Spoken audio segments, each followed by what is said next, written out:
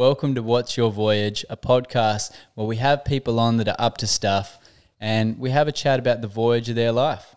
Enjoy. Welcome, ladies and gentlemen. I'm your host, Hamish McLaughlin Lesser. I have the video man, Owen Haig. How are we doing? Yeah, I'm good. How are you? I'm good, man. I'm good. And we have audio engineer extraordinaire, Bjorgur. Hello, everyone.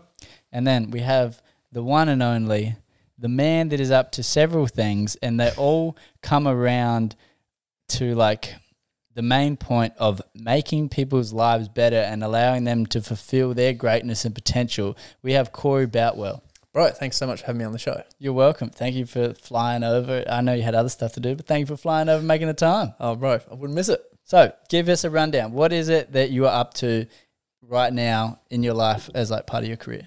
So, like, the main thing that I'm focusing on at the moment is my Overcome the Chaos program. Just absolutely jamming that. So, that, my podcast, and so my social media, because that's like part of the business as well. Yes. But essentially, Overcome the Chaos is this, man, just thinking about it, I get like emotional. I'm like, oh God.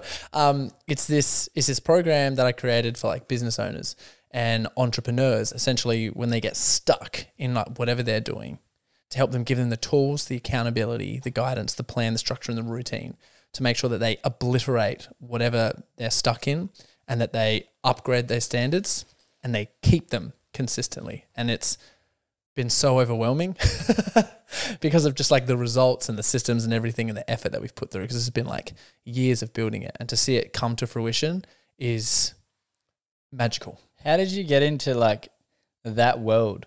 Oh, bro.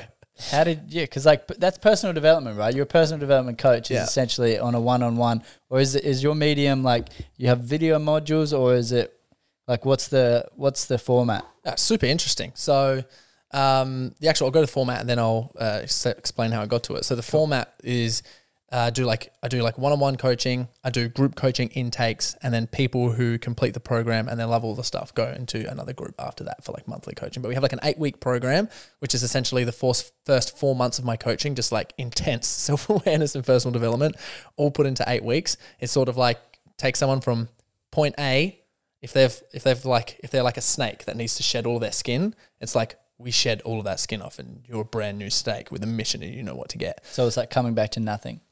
Yes, as an experience. Well, well kind of. I would say it's more like um, if I had to summarize it in a sentence: death of the hero, birth of the king. like that. Cool. Powerful.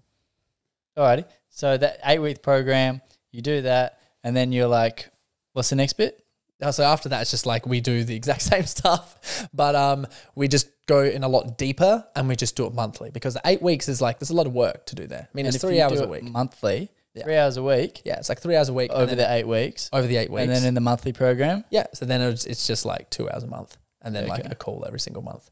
And we go through everything, and that's called Modern Leaders Accountability Group, which is wild. It's so good. Have everyone go through all the stuff. Like it's it's yeah, it's overwhelming and it's awesome. But how I got to actually doing it is sort of a long story, but I'll shorten it as much as No, shorten it too much. well, um, so I compete in fitness competitions and got a pro card naturally in the WBFF um, Federation against people who take steroids, which was awesome. Um, What's a what's that? Is that like a winner's card? Yeah, so like so if essentially it sort of works like tennis. So you think about someone wins like an Australian Amateurs Open, and now they have their tennis card. They can go compete in the US Open, the Wimbledon, Australian Open, Europe Open. They can go compete in all of the uh, big professional um, games in order to you know test to see what they've got, see if they're the best. So in that category, which is awesome, and that was sort of like, I guess, hit that at the age of 26, 27, 29 now, and started like when I was in the early 20s, essentially had no idea what to do. I grew up like learning singing and dancing acting. I thought I was going to be a singing and dancing actor. did that like my entire life until I hit to like 15, 16. Like that was the goals. I, I was literally like finishing school early every single day for four days a week. Like I was working, I've been working since I was 10 in like all these different things. And like that was it. That was like the main goal of what it was going to be. Then 15 come. That's what I thought was going to happen. Parents split up, just some other shit happened, whatever it was, life would, you need to work now, do this stuff. Went from getting paid like heaps of money for doing that stuff to like nothing essentially and doing work that hated doing. And like, Yeah, well, sucked. you were working in like metal, weren't you? yeah, I was doing sheet metal work. Yeah, yeah. Because my I, I listened to the podcast you with Callum. Oh, nice. Yeah, great. Nice. So open. I love how thank you, his bro. format's. yeah, dude. And Callum's a stud. You're so like open and vulnerable. Yeah, He with it. So Creates yes. a condition for it. Yeah. So good. Well, thank you, man. So yeah, me and Dad did not get along well at that time. We hated each other.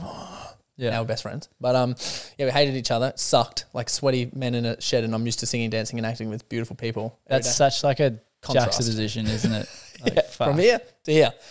So I spent the whole like next whatever time of my life trying to figure out what the hell exactly I wanted to do. I was like, oh, I want to be a pilot because they make money, and get to travel the world, study that. I was like, no, not doing this. I was like, well, the next Too thing I did, yeah, dude, dude, the math is hectic. Oh, dude. but I learned how to study and I learned how to figure stuff out. So that was awesome. Like that is a big thing. learn analytical side of brain. Um, and then I studied business because I was like, well, it's a very generic degree. Like there's a lot of places I can go from that. And I would do want to run business and stuff like and got honors in that, kicked ass. I was like, woo, this is it. Worked in a business. I got here and everyone was like, wow, everyone is so sick, tired, depressed, and unhappy. What the hell? And during this whole period of studying at uni and um, getting like jobs in actual business, I competed a lot in bodybuilding competitions. That was the one thing that sort of kept me going. And, and during those times, every time I competed, I was like, why am I on fire? Every time that I compete, like my whole life is on fire. Like relationships, like my grades, um, like my work life, for what I'm studying or my personal development stuff, like everything is on fire right now. As in, it's going well. Oh yeah, Yeah. like so good. And it sort of got to the age where I started like writing all of this stuff down and understanding it. like keeping a journal. Yeah, more like actually designing things to be like, okay, what's this thing that I need to climb? There's the structure, the plan, the routine. How do I need to organize my mind? What do I specifically need to think about? What's the self awareness technique? I didn't really think myself as an analytical person, but I'm like, well, I'm so analytical. I need to know the finest little details of like Give me an example of that. Like when you were structuring for a goal. Um, well, for a goal, I just put everything into a spreadsheet. Okay. yeah, I would just like map out times and dates, be like, time, what I got to do, when I got to do it, blah, blah, blah, then put it into my calendar. So like obviously the clearest version would be like your workout routine. You'd have like Oh, the yeah. times that you're doing it, exactly what kind of meals. Do you, would you have like why? Like because they have certain amount of calories and stuff like that, or depending on your goals. So I don't think you really need to look at those too much unless you're like actually competing. Yeah. It's more just like get healthy and your body will sort itself out in terms of that specifically. But yeah, so I wrote all these things out, figured out all these um, systems and stuff, and then how'd you figure out your systems? dude, I, I don't Was know. this like intrinsic? It's- like it's you just of- like, ah, I'm gonna magic. give this a go. well, I would read really difficult books, Like and I do like I'd What? read Friedrich Nietzsche, like um, Thus Spoke Zarathustra, Crime and Punishment. Oh no, Crime and Punishment is Fyodor Dostoevsky. Um, Beyond Good and Evil, The Birth of Tragedy. So I read like all those books. Full like They're hectic. classic psychological, like oh. just in depth. Yeah. Yeah, and I finished them, bro. And like some of them, like That's a big thing. Yeah. Like, you say, yeah, and I finished it, but that's a fucking huge thing. Like, how many books have you started and just not finished? dude, some of those books took me a year. I don't even doubt it. And like, so- I'm not kidding. I'd be half an hour on a page sometimes. I'd be oh, like, yeah. I feel you. a lot of I have grown up with dyslexia, so I completely get you. You, know know, what? like reading shit. You know Oh, what's funny? I'm an author and I hardly read. You're an author. An What do you author, An author. author. they said an author. I was like, what do you mean an You're author? reading your own writing all the time, man. That's what I mean. Like I, I was able to publish a book, but me not reading a lot is because me I also do analytical organizing of my life. You know, so I understand where you come from when you say that. It's like yeah. Yeah. And then you got to schedule your reading time in or you never get it done. yeah. so I have to even do that. Yeah. yeah, which is crazy. I live in my Google Calendar. I am my Google Calendar. Legit. If it's not there, it's not happening. Yeah. Straight up. I just it just wipes off the face of the earth if it's not there. Yeah, dude, I like um, I have it installed in a widget. It's such a hack on my phone. So all I got to do is swipe left once, and I can see my entire calendar. It's productivity hack. Like turn off all your notifications. Only keep your text message and your Google Calendar on. I like coach people on this, like high level entrepreneurs. Turn all your notifications off except for your phone. Turn your widget and turn your calendar notifications on. Organize your calendar. Bro, life can be changed. I'm not kidding. I don't know how I feel about turning off all my hack. Instagram. I'm so addicted to it. I'm Nah, 'cause so addicted. You got a schedule to turned go in. Snapchat Off. That's fair. Did ya? That one's Yeah. gone. Oh, Wasted well, so much time doing that. On what? Bar Snapchat. oh, Oh, dude, I hate Snapchat. Ah, I don't like the Wasted format of it. Yeah, fair. Apple's got that new silent si- um thing on now where you can put it on silent. So mine at ten at ten uh, p.m. Like yeah, it goes on silent. So I won't see notifications unless I- want to. Like if I really like go and open it again. I challenge you to turn that thing down to seven. Seven, yeah. Turn it off altogether. That's no, I think it's good. You got like there's work and stuff you got to do in there, but Oh yeah. so why did you choose to read those books? Like they're not books that people don't you know usually choose to read. Yeah, and there's more. Hero's Journey, um, the origins history of consciousness. Like, there's some big books in there, and I got them all just basically from you know one of the most respected psychologists in the world is Jordan Peterson. I remember just watching a lot of him. I think a lot, a lot of men have gone for a time. Like, let's watch Yeah, Jordan he's Peterson. great.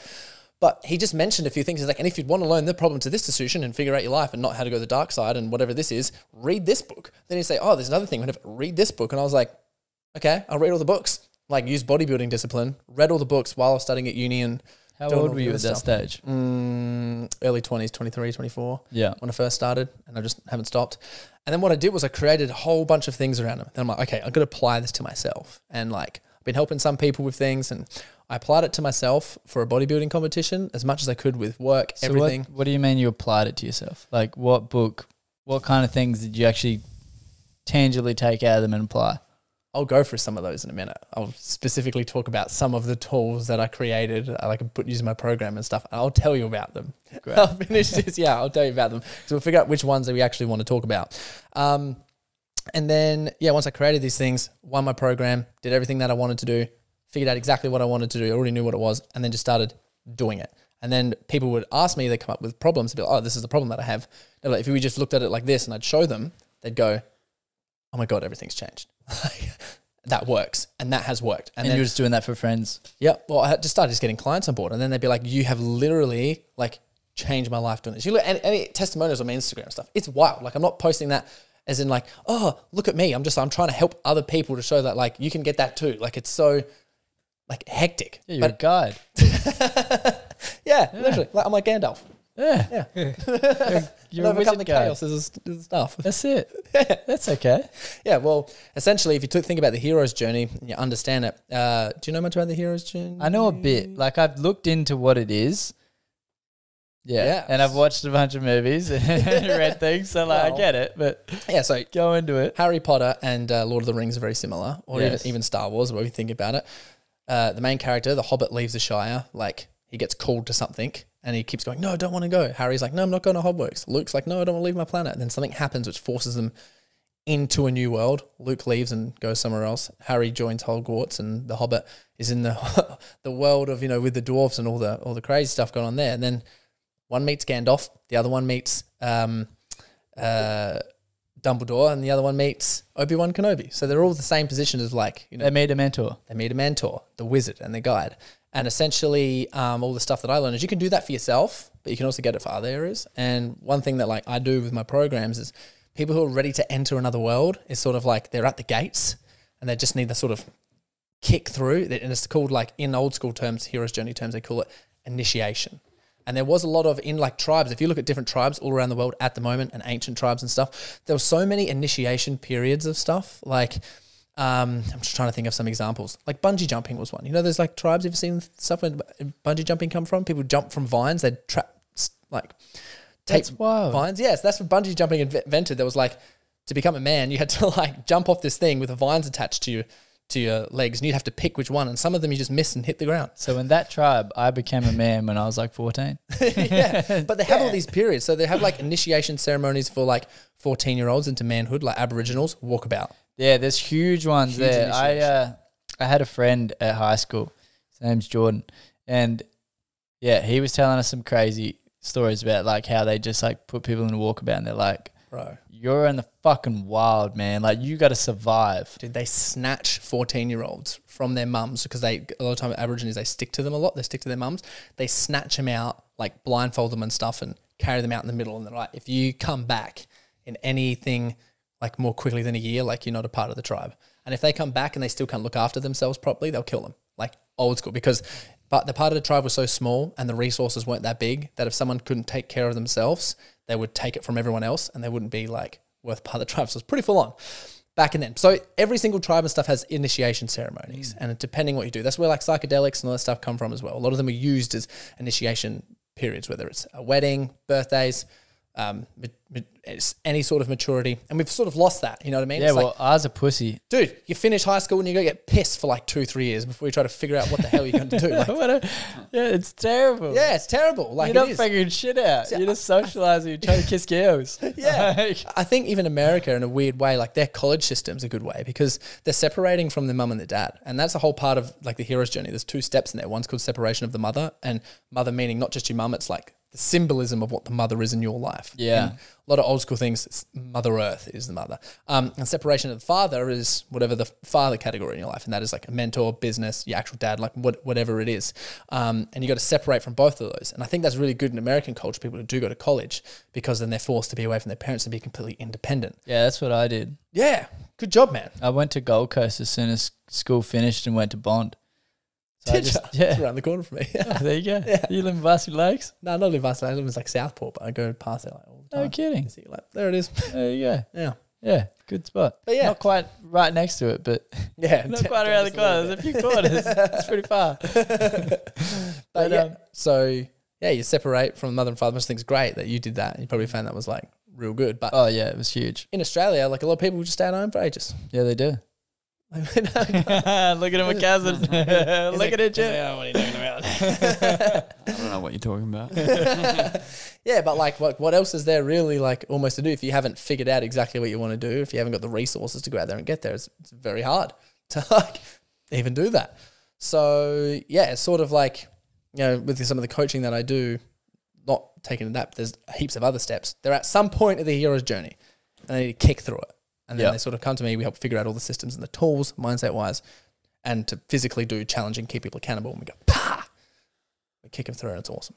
Yeah, so what kind of tools do you use? Do you use it from like, or actually, let's go. How did you develop in terms of this course? So obviously, you read a bunch of books, a lot of these classic literature books. Did you also read like psychology? Like, did you have you delved into ontology? Did you look at mind behaviors and and how to kick habits and stuff like that? Like, how did you actually go about amalgamating what it is that you're going to put in a course? And obviously, you've chosen entrepreneurs and those that are willing already to go to that next level. You're not trying to get people that are like shit kickers, for lack of a better term. You're trying to get people that are already trying to do something extraordinary.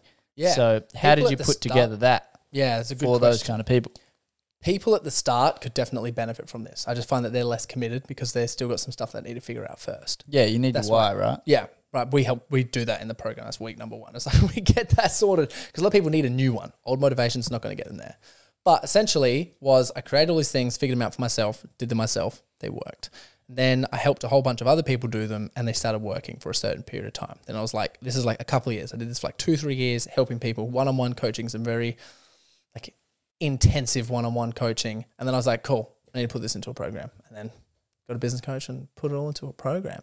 But um, yeah, so like the basic outline of the course is we spend like the first. This is really like if anyone's listening to this in general, this is like some real good stuff just to like get clear on because a lot of time people don't just do things. You can understand all the theory in the world, but if you're not taking action on it, it's not gonna Yeah, well, you got to get in the court, right? it's not going to come to anything. But dude, there's a lot of stuff that I researched on was mindset, the how uh, neurotransmitters work, how hormones work, and then old school philosophy and psychology. That's the main stuff, and I applied it to myself. A lot of relationship stuff too, um, just because and how to communicate. So why the old school as opposed to the new school?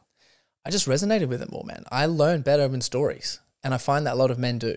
Um, you tell a story about something, and everyone goes, "Oh, god, that makes sense." Um, and then you go, and then if you can apply biological stuff to it, oh, that's even better because now we understand um, both of it. Modern psychology doesn't really appeal to me that much. It's so boring. Yeah, well, I haven't read it. Yeah. So it's, it's, it's, it's like so boring, but like I, just me, I find it personally. Um, some people find it fantastic, but for some reason, people would say like they'd probably find philosophy boring because trying to read that is like impossible. But I just like the challenge. I'm like, I've got no idea what this word means. I like, I sit there with a laptop, um, a pad, like a, a pad of paper and the book, and I'm just asking Siri what words mean. and then they'll be like, and this thing happened. I'm like, I don't even know what the hell this is. I have to Google it and then go for like a 20 minute research of what this thing means so that like one thing could make sense. And then sometimes I'm like, that wasn't beneficial at all. Just wasted so much time there. But it was worth it in the long run. And the discipline and stuff that come with it is really good. So from like writing down your notes as a part of these books, you're like, all right, these are the excerpts that are resonating with me. You apply them to your life, and you're like, all right, let me assist other people apply these things. yeah. And then I'd visualize them. So I'd create a diagram on them. And then I'd create like an exercise to do from them for myself. And when you say like a diagram, is it based on like what kind of things are a good introduction? What things are like once I've kind of reached this milestone, these lessons worked for me.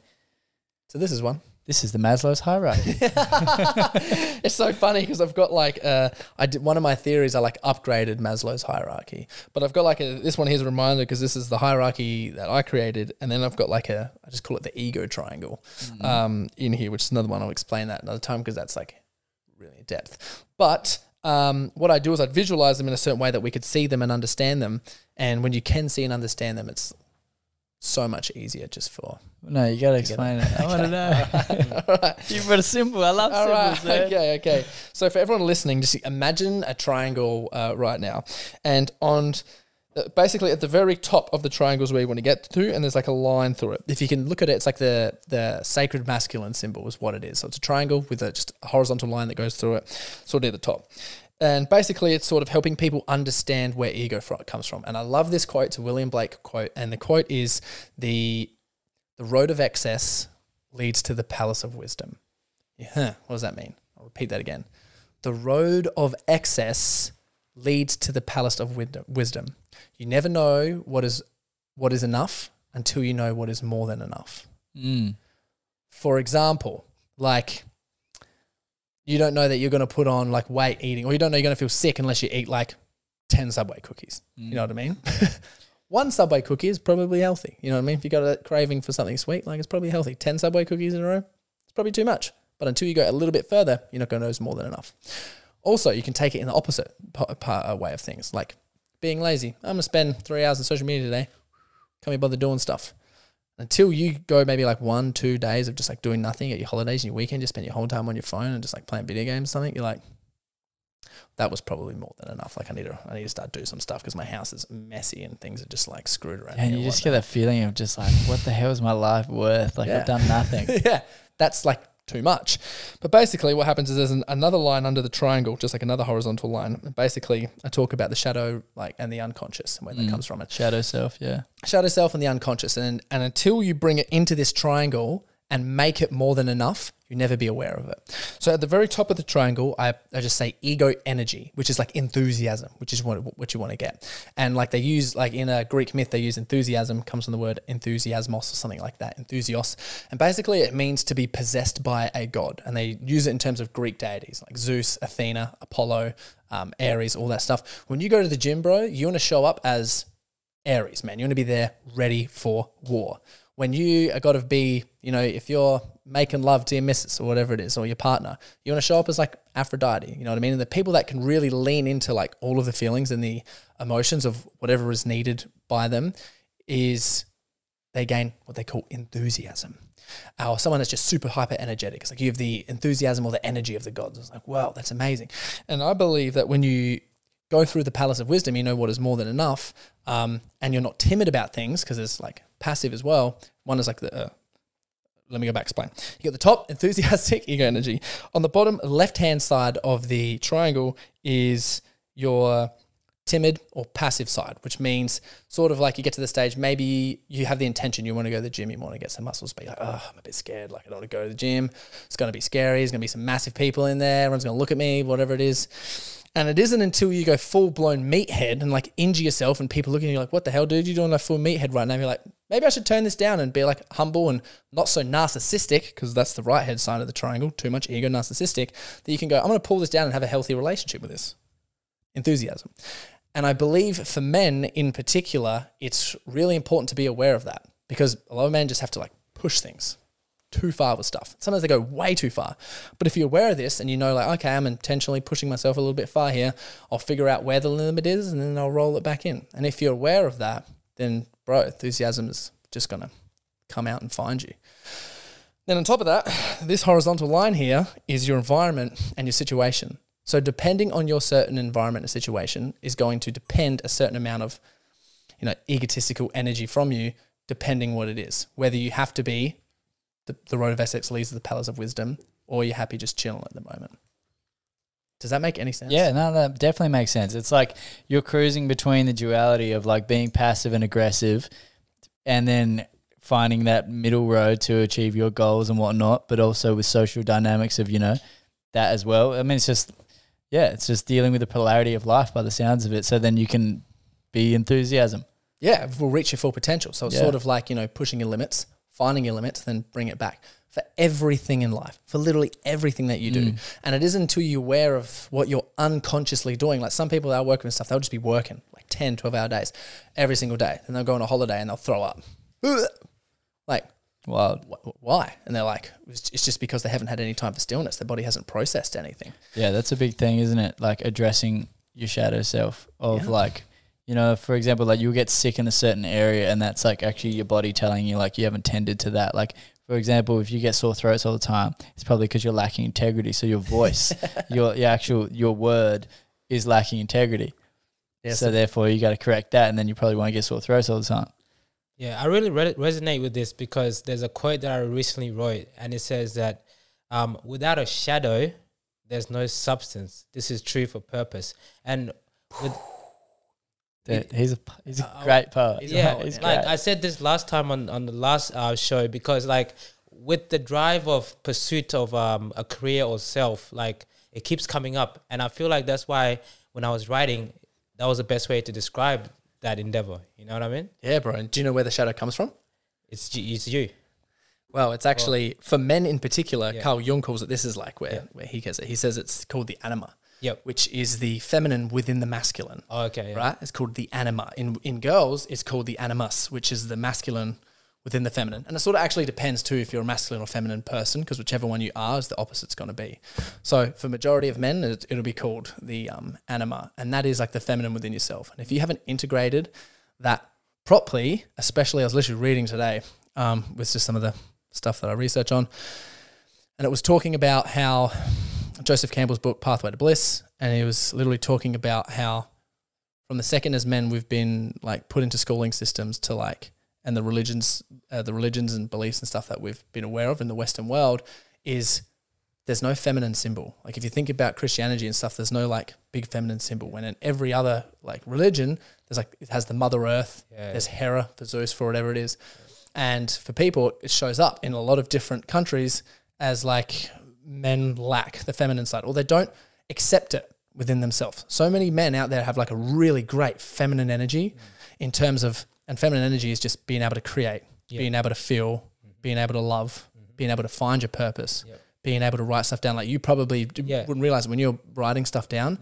it's like feminine energy is mm. flowing bro and it feels amazing it's what charges us up the reason like we actually enjoy anything that we do otherwise you just become like a Yeah, Like you've, just- you've got it. You've got it spot on, spot on. Because that that exactly is what I'm trying to uh, bring out. Because not everyone can understand that. I don't know if it's like the different cultures that you know. Other cultures are very like the roles of male and female. There's an imbalance sometimes, you know, and that might stigmatize the idea of like men have to be vulnerable. yeah You know what I mean? Exactly. Yeah. and it's, it's, it's not even it's, it's like vulnerability is I, I believe is definitely one part and you're 100% correct but there's so much there's so much else there Yeah. like so much. And when you understand that your entire shadow side Yeah. comes from the anima blows your mind. So if you've got a positive relationship with like your mum for example symbolism mum mother but most people it's like our mum. If you have a really positive relationship with your mum you're a little bit insensitive about things. Mm. Like a little bit no you're a little bit too sensitive. You're a little bit dependent on other people with things and you get a little bit more attached to stuff if you've had a very negative relationship with your mum, this is generally Carl Jung stuff. If you've had a very negative relationship with your mum, you're going to show up as someone who is a little bit more aggressive and a little bit more touchy and a little bit more, like a little bit more oomph to them, a little bit more aggression, which is really funny. And you and you listen to that and it's like, well, that's like your dark side and what you need to integrate. And when you do integrate it creatively, is where you will find a lot of fulfillment. So for people who, let's say, for example, have a bad uh, relationship with their mum, they could find like creative energy through martial arts or something like that. For other people who have had like a real positive relationship with their mum, it could be through you know writing, poetry, creating music, um, uh, creating something digital, art, like whatever it is, just as like main main things. Now I, I've had like both. I've had a really good and a bad relationship with my Yeah, same. So, so I Dude, go, I feel that. That's I wild. go, I'll go, I'll go both. yeah, that's so You know, good. you know what's crazy? Me myself, like I left my parents at the age of four. I haven't seen them since. I'm turning 24. So basically, I've I've endured and learned from my outside experiences. I've been an observer. Observer, yeah. I got a really good question to ask you because I think about this a Yeah, lot, especially for people who like haven't had that uh, experience um, of like parents for a long period of time. Because I talk about this a lot. You can see I'm quite passionate about it because I work for this a lot of business owners and entrepreneurs. And like, where was the symbols for you of like mother and father? Like, where did you find that? Because some people it was like grandparents, other people it was like. Uh, people that took them in, whatever it was, but for you, it could have been something completely different. Like, where was the mother and father symbolism for you? Yep. You know the crazy thing is, um, for me, that symbolism came from a source that I I couldn't understand because I felt like there was a voice within that was guiding me through different situations.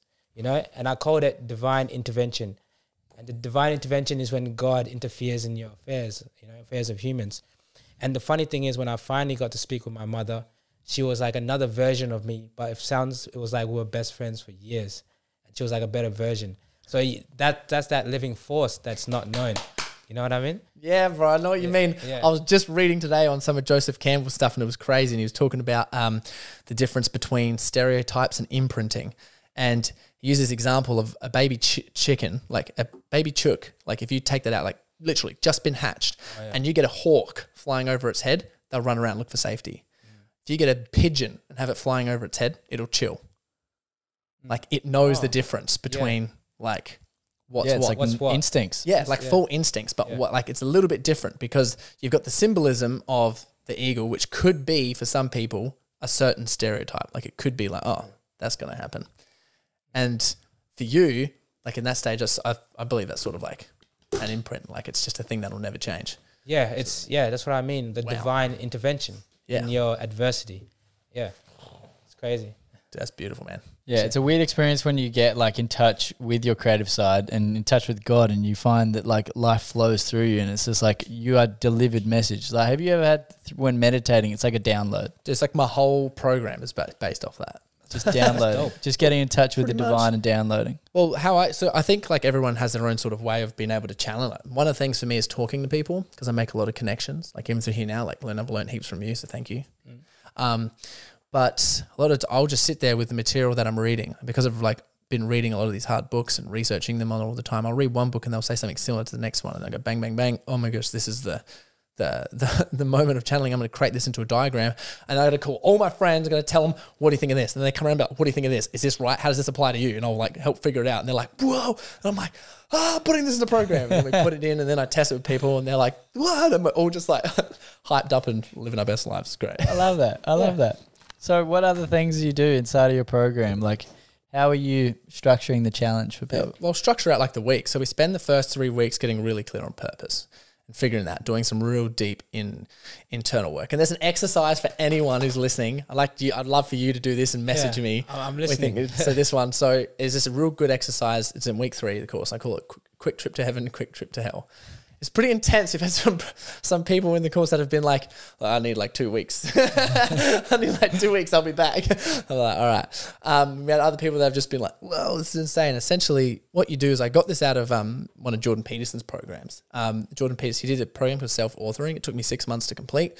Um, so for people who are like, "Oh, I'd love to do that," it's like you got to be ready to give that a go. And I wanted what was out of that because he had studies and data on that that said like you know people who uh, completed the program had like 75% better grades in like university settings. So I was like, I want to be that elite. So I did it. Took me ages, but I did it. It was crazy. And one of the things that he does is make you like sort of relive all of your memories and project your future. And I was like, well, I could summarize this for someone like a lot shorter. So what I do is sort of break out um, the quick trip to heaven is you figure out a quick trip to hell, you do that first and then go to heaven after, get the hard stuff out of the way. um, you sort of sum up your life into little ep- epochs, whether it's two, three, five years of when, like, you know, if you were at a job for five years, that would be like an epoch, like a little epoch. Or if you were at a whatever it was for two years, that'd be a little epoch, like forever you're at for when stuff was like consistent. So you break it up, majority of people, three to five years. and you just go back to like when was something like that happened that affected you in a negative way that you still remember today, and you just go like, all right, three years back from today, all right, eight years back from today, all right, and you just keep going down, and then what you want to do is figure out a pattern of like why all of those like bad things kept happening. Like one of my clients was really easy. I remember at the top of, top of mind was he just kept feeling like he wasn't good enough. He'd enter a swimming competition and just couldn't get to the team. He'd try to do work for his dad and his dad never acknowledged him. He kept trying to do like real good stuff with friendship groups and stuff and they only accepted him because he was good looking and he could get with girls. So he never felt like he was good enough or anything. So yeah, he didn't feel like he belonged. didn't feel like he belonged, man. There was no like contribution connection there. So, and he was a real feminine person. So, understanding all those things, it was like, man, it was just weighing him down and it holds him back from reaching his full potential. So, it wasn't until we dive real down and like all those things and figured out that pattern, we were like, oh my gosh, mm. this is like super fantastic. How is that affecting you now? And he's like, oh my goodness, this is affecting me now for this, this, this, this, this, this, this, and this. Like, Yeah, cool. the I don't belong like narrative.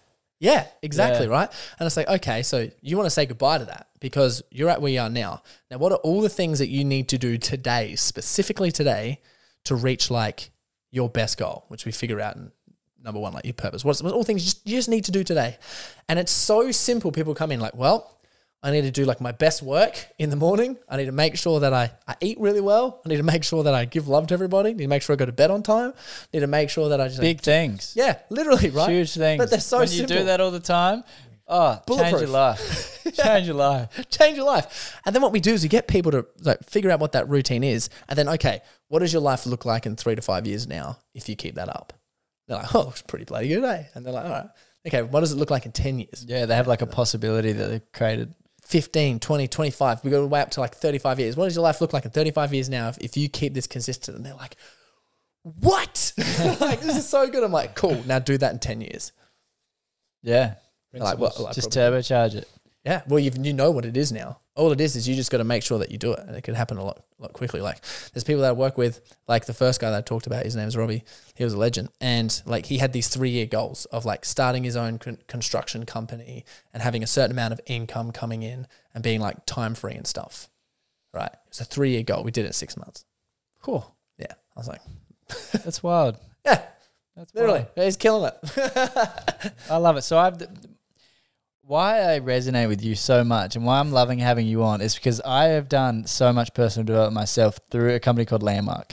And like Yep, heaps, like I got introduced to that when I was like 17. Was like, yeah, I really want to do it. wasn't old enough because you know none of my parents had done it.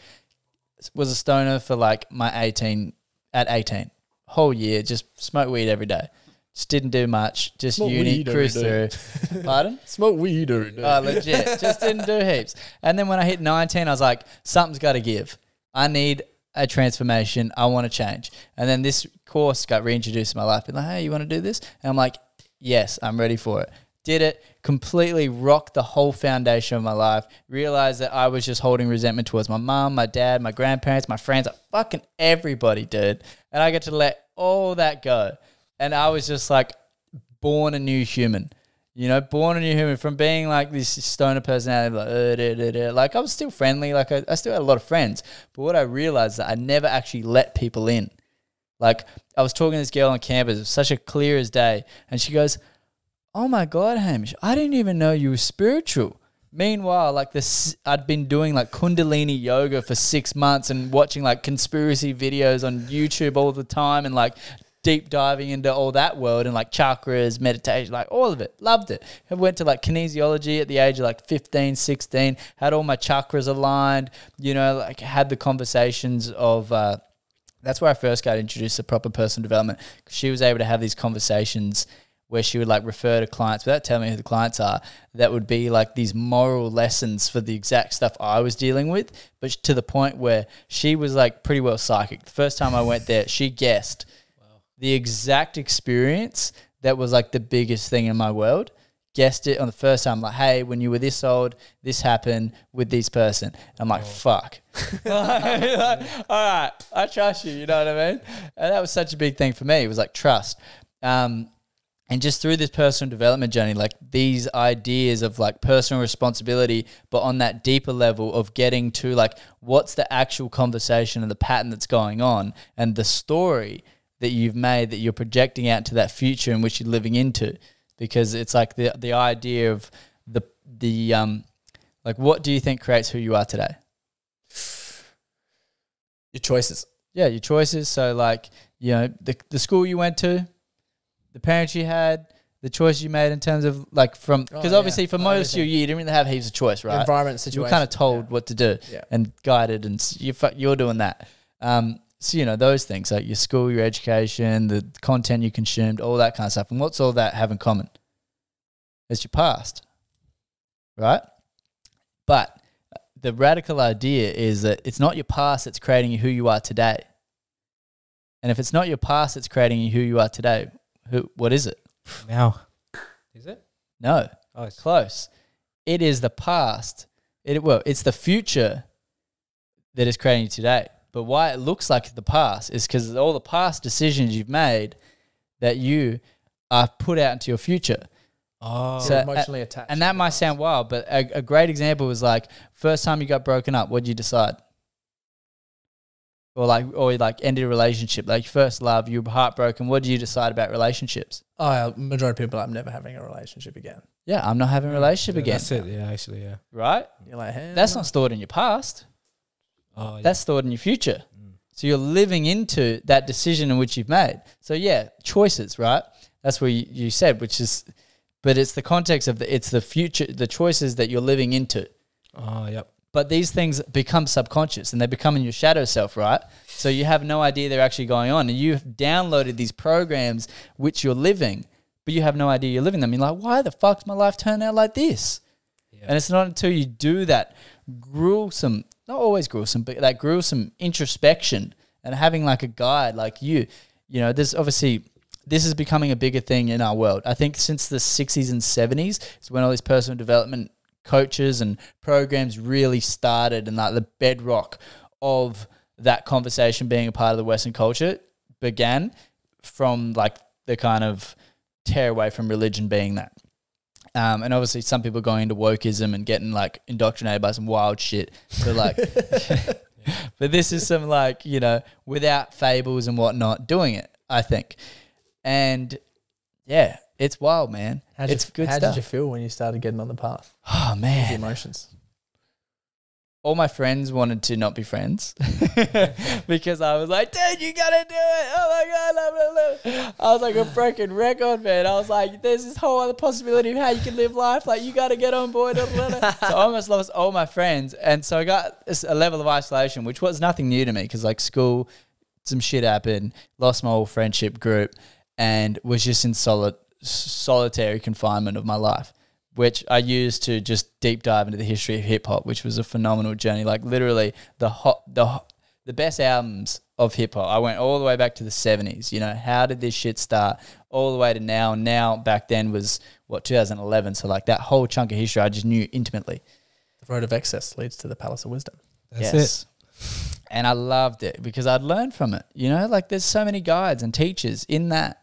But obviously, I upgraded that. Went to personal development and whatnot because it's you know it's a better package. Like Great it's about you. make, like, yeah, great decision to make. Like knowledge is power. knowledge is power, and I think there's just so many different accessible ways to get it these days.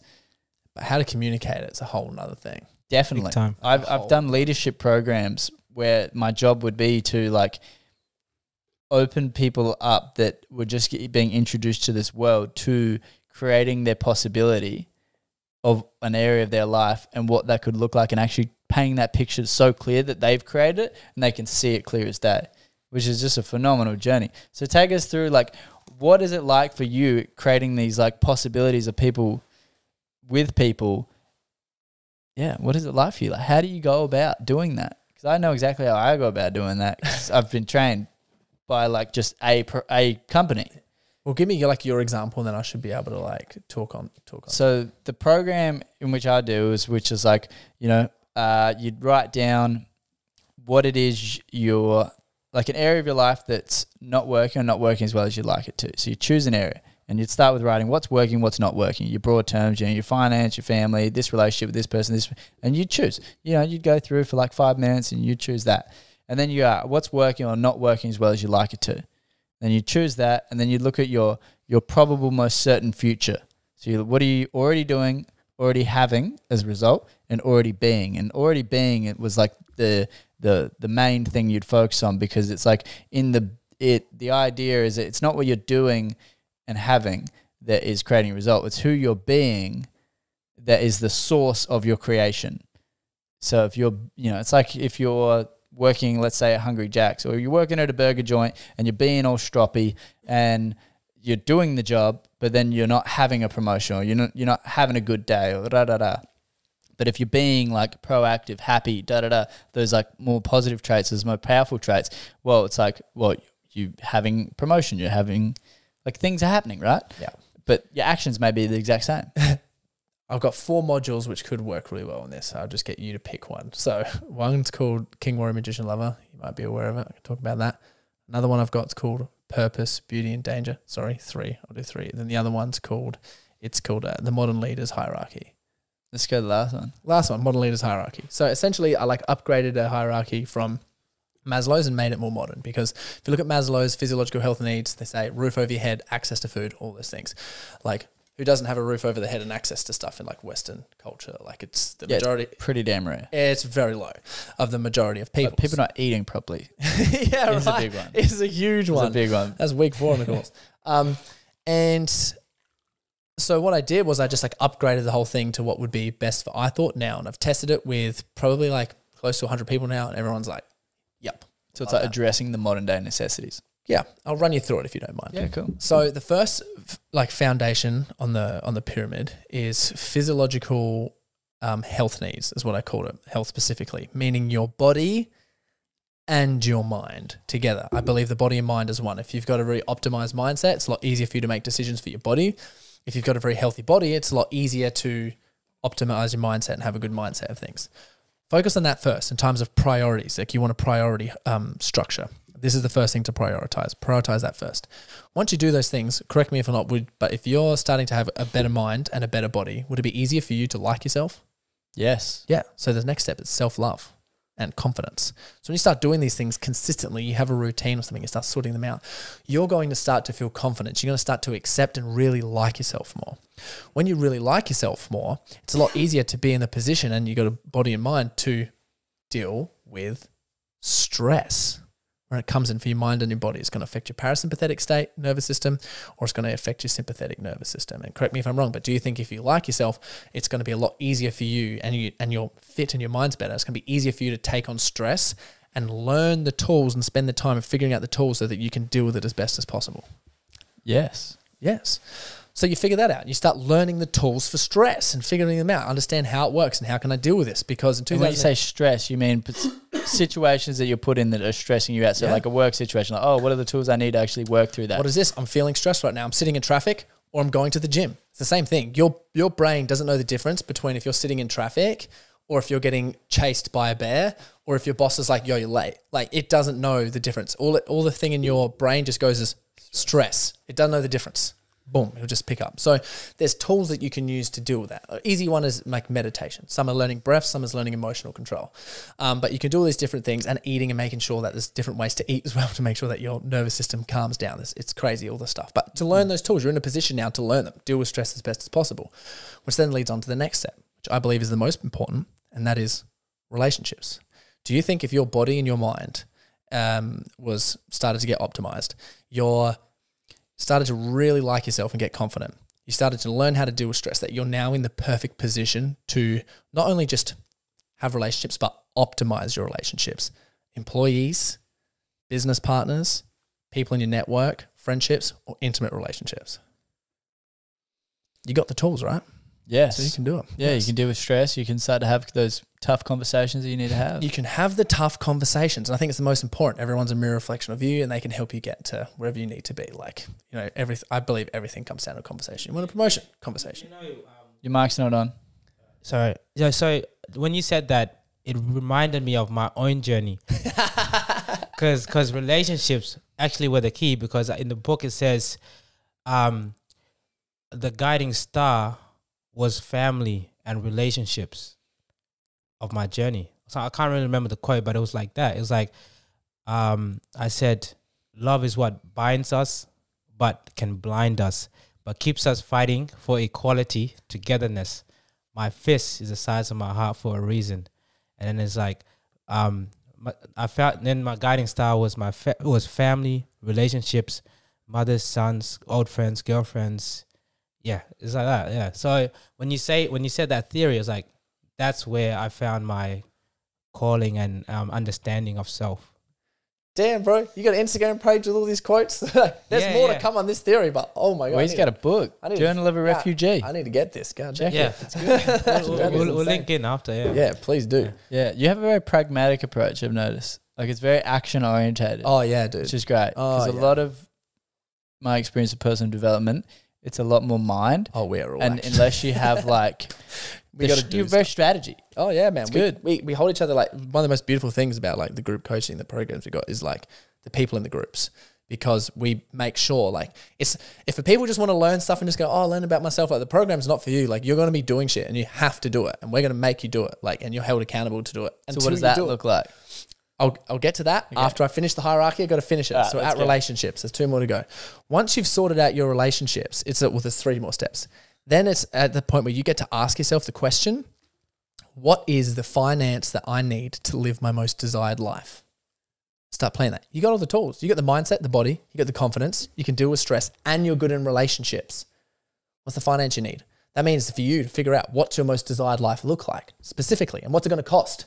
And then if it's lots of money, because I work with a lot of people that are like, I've got that. I just need the next two steps. I'll tell you. But other people, it's like, oh man, there's heaps more that I need to make. Well, it's like, go out and make it. you know what I mean? You understand all the stuff. This the step after finance is what hierarchy are you climbing in terms of your career? Have you got a business? Are you climbing that? Are you podcasting? Are you climbing that? Are you in a sport? Are you climbing that? Are you working in a job? What's the hierarchy there? Where can you get that's the highest? And if you can't, move across so you can go up somewhere else because you need to be climbing some sort of hierarchy. Any time of stagnation is going to be in, um, like make backwards momentum, sort of like a pond. If you have a pond and the river's not like, and you've got ponds that aren't flowing and it's just still there, what builds up al- algae and shit, and you got to move it out the way to get the water flowing again. Yeah, you either contract or expand. They ain't gonna stand the same. And then the last step is impact. And that is the question is who do you want to serve? That's it. Who do you specifically want to serve that's going to fill your cup up? Mine is specifically entre- entrepreneurs and business owners who just are stuck and they want to absolutely start crushing it and like real crush it and take action on that. Because when they do, and I've had it like so much with the testimonials and all the stuff that we go through work, they're like, this is the best. And they're just balance all areas, just firing. It's amazing to see it. And sometimes like we're just pulling the steps back a little bit and then it's like, oh, everything's going crazy now. It's nuts. Anyway, so it's figuring out specifically who do you best want to serve? And I'd like to ask you the question, man. Hamish, who is the people you most want to serve? For some, just examples, some people it's family, some people it's friends, some people it's the environment, some people it's like animals, some people it's like specific groups of people, children, or like people in swimmers, like whatever it is. It really depends on which project. For me, it really depends on which project because I have like several huge life goal projects. Which are most favorite at the moment? What's uh, at the moment? Yeah. Yeah, okay. This is definitely my most favorite at the moment. The podcast. Okay, so who are you serving? I am serving people that want to learn, just yeah, learners. Essentially, learners that want to make their lives better. Where are they? Where are they on the internet? Whereabouts geographically? Where's oh, geographically. Well, I mean, we'll start with Australia, but then we'll expand out to like other English-speaking countries. what's, what's the gender demographics roughly? I'd say mostly men. So Mostly you want to serve men who are eager to, you know, really learn about themselves. Am I guessing, or learn? Yeah, well, also, I like the idea of people creating an awesome world and creating their own version of utopia. Like, I like the idea of freedom, not in like a gun toting, you know, even, I, I don't mind toting guns, they're fun. but, you know, in a way that's like, the idea of freedom is it allows you to explore and go for your version of utopia as long as it doesn't interact with somebody else's life. So you're serving Australian men who want freedom through creating their own worlds. Yes, How powerful is that, bro? it's so powerful. You can just put that up everywhere. Hey, everyone, you want to be free? You want to create your own world? Listen to this damn podcast. What's your voyage, baby? Legit. Mm, This is an experience of us like going through having conversations with those that are making a difference in the world and trying to figure out how they're actually doing what they're doing.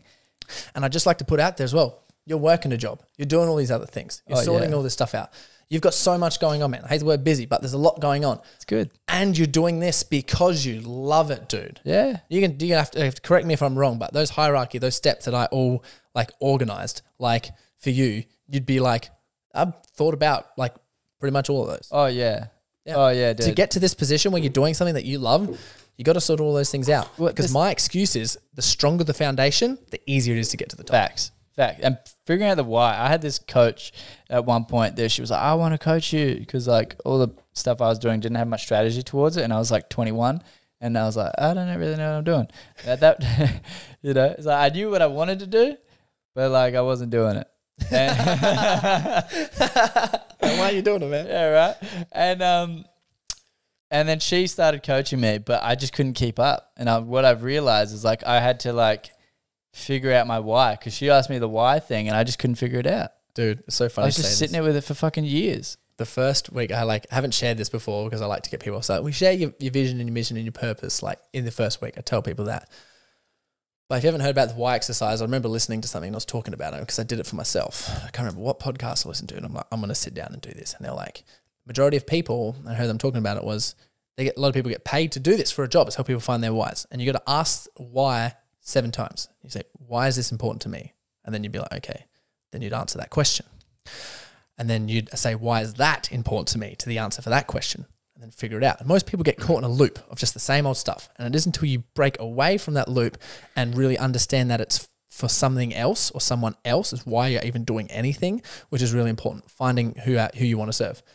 And then, so what I did was I recreated it and sort of figured out all the theory and all the stuff to make sense to motivate people enough to attack it full on and how to specifically set it up to do it. I've done it so many times. I have I have this document of collected purposes that I have, and it is wild, man. Every time I read it out, I'm like, I get so emotional because there's so many purposes of people that found power. their whys. But if we do it ten times, and it's so frustrating. We get all the way down. Majority of the time, it's getting to like eight or nine is usually roughly where it, where it's at, and then the ten is like a recap of things, and then I get really clear and specific on the actual word, so we can summarize it into like a ten word sentence. So what's your why? My why is to inspire young, ambitious men by consistently overcoming myself. Nice. That's my one. Yeah, I love it. Used to be just consistently over, over um, consistently overcoming myself, but I found who I want to serve, which is like young, ambitious men. I've got a fun quote. Cool. Hit me. Ready? So this one is says this is from Pablo Picasso. Yeah. What So a guy. what a guy. yeah, the meaning of life is to find your gift. The purpose of life is to give it away. Ah, I love it. I love And it. I, I, I, yeah, I came across it and I was like, this is probably coming towards my own why, as well. Yeah. There's one like I will quote that I resonate with a lot that comes in like my dude, thank you for saying that. Yeah. I actually love it. Please send it to me afterwards because I want to use that one. Yeah. Um, make sure I remember it because we're getting tired right now. Mm. But a quote that I use a lot for like my uh, in my course, another Friedrich Nietzsche quote is he who cannot command himself must obey. Facts. Facts. Yeah. Facts. Facts. Discipline Yeah. breeds you choosing your life. Yeah. That, that- If you don't have discipline, you can't choose your life. Somebody else going to choose it. Yeah, dude. yeah, like yeah, reality would choose it. To be honest. Yeah, facts. You know, Yeah. And then life's gonna choose. Some dude's gonna be like, "Oh, this person doesn't know what they're doing. Yeah, do my thing." yeah. You know, you're gonna work at a job. Then you're unconscious for ages, and then you, this, your, your shadow expresses itself in a negative way, Yeah. and then you come up with the term that is called in quotation marks possessed. And I love that term because Carl Jung uses it. Yeah. And it's sort of like you know when you go through a day and you're reactive or you're just a bit shit, mm. and um, you get to the end of the day and you're like, I can't believe all those things that I did or said or what what the hell was I thinking? That's not me. Mm. I'm not like that. You're possessed, bro. It's the opposite of enthusiasm, what I was talking about with the gods possessing Oh, you. It's like you're legit possessed by your dark side right now. Mm. And if you're not aware of it or you can't catch it, it's like so you can't control your actions. That's a big thing, right? Catching it. You got to catch that. That's the biggest thing. Is you gotta you gotta recognize what your dark side is, and be able to catch it. Because once it, it's like those things, those programs. If you don't know the programs, you can't catch them. Once you realize you know the program, you catch it, and you go, "That ain't me. That's just some fucking seven year old being upset talking right there." Dude, I believe one of the best ceremonies for this is to get into a relationship because your partner will call you out all time. Every time that you're not being the best version of yourself, they will sniff it out. They'll tell you. They'll react to you because everyone's just a mirror of you. And I, like, I use this like um I remember thinking about this. I was like, in terms of my own masculine maturity, I need to get good at a relationship. So with any girl that I get with, like I get into a relationship to, I got to fully commit. So many dudes that I speak to cannot fully commit. They can't Bro, wholeheartedly, wholeheartedly, they cannot commit. Yeah. And it's like Yes. you'll never even learn to be a good partner unless you can fully commit. And it took me however many goes to completely understand that. And I'm in a relationship now. It's like the best relationship in my life. And it's like I catch that shit like so quickly. Mm. There's sometimes at the point where she's just like, Yeah. I'm not used to this right now. I, I don't know how to communicate.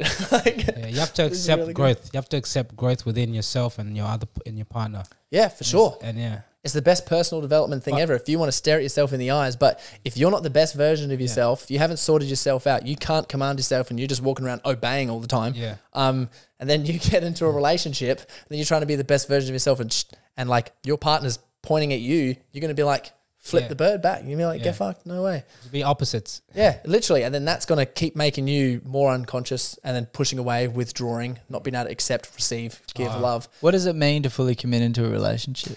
Well, it's just 100% commitment's a breeze, and 99% commitment's a bitch, bro. Yeah, yeah, I get that. But But what does it actually mean in reality for you? That's a really good. What does it look like to actually fully commit? Well, that's a really good What's question. the right way of commitment? Yeah. Well, I'd say it would like it- like the most easiest logical terms that like I think of would just be like I, I think Presence and trust. Yeah, that's right. I'd say presence and trust. So being present with your partner, Yeah, and trust and because then trusting them in terms of and proving your trust. Communication. Yeah. It's just trust in terms of, you know, because everyone's got like fears, especially with relationships and stuff growing up as kids of like, oh, either being cheated on or being left so like, trusting whatever it monogamy. Yeah, trust in monogamy for sure, and then trust that you know if like with certain timelines, if someone's like you know I want to have a baby right now, or someone's like I don't want kids, or if someone's like I'm going to move you know to another country in like a year, like whether you're coming or not, it's like uh you know like well, what am I going to do? Because you start getting attached to future timelines, and if you're not aware of that and you haven't communicated those with your partner. When the things come up and you can't allow each other to express yourselves, then it's going to be like real difficult. Some Yeah, people so, can like, do with long Really open communication. yeah, some people can't. And then you can like it's commit and as well as knowing that the other person, that's what I mean with trust is so important. It's knowing that the other person is going to be committed to the cause. So you both have a goal of being together, but you both have certain dreams, certain goals and stuff. It's like, cool. How can we combine them and compromise without having anything like Yeah, so you don't feel like a it up? loser. So you don't feel like a loser. But it's also just understanding, you know where you go, so you feel safe. Majority of times there's like an argument in any like um relationship. It's frustration that you can't communicate what you're feeling. End of. It's never frust it's not so much frustration of the other person. You'll think it is, but it's because you just don't know how to communicate to that other person out of a fear of not being safe for whatever reason it is. Because you're vulnerable and you're attached. You're gonna get really comfortable. Men gotta get real comfortable with vulnerability. You know, I said beforehand, men aren't as in touch with their feminine energy and, and they should. They should really embrace that as much as possible. If they're not and they don't know how to get like vulnerable and they don't understand that invulnerability is power, then anytime some sort of tiff comes up, they're just gonna withdraw or try to back away and then she's end up gonna be like, This like- this reminds me of the whole dark side and light side balance, balancing of um self. Mm. You know, yeah.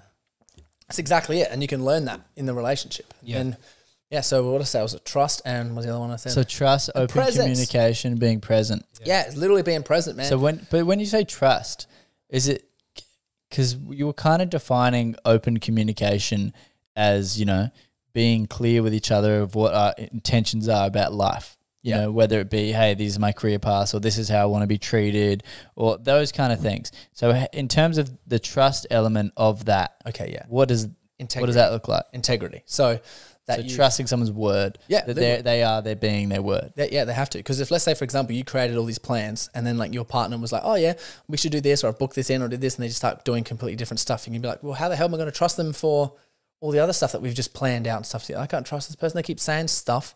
They're not doing and following through what they're going to say. Some things we're always going to mess up because we're human, but like Yeah, in yeah. general, all the big ah. things. And if they can't do it, it's like, What does restoration of integrity look like to you? oh man, that's a, that's a big one.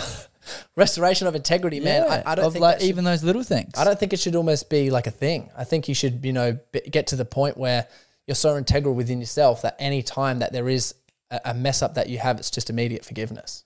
Yeah, but do you you obviously have to address it, right? Yeah, well, you talk about it. But what is that? Do you have like a formula of like how you go about addressing lacks of integrity? Hmm. See, that's really difficult in my way because I value integrity so much, like so much.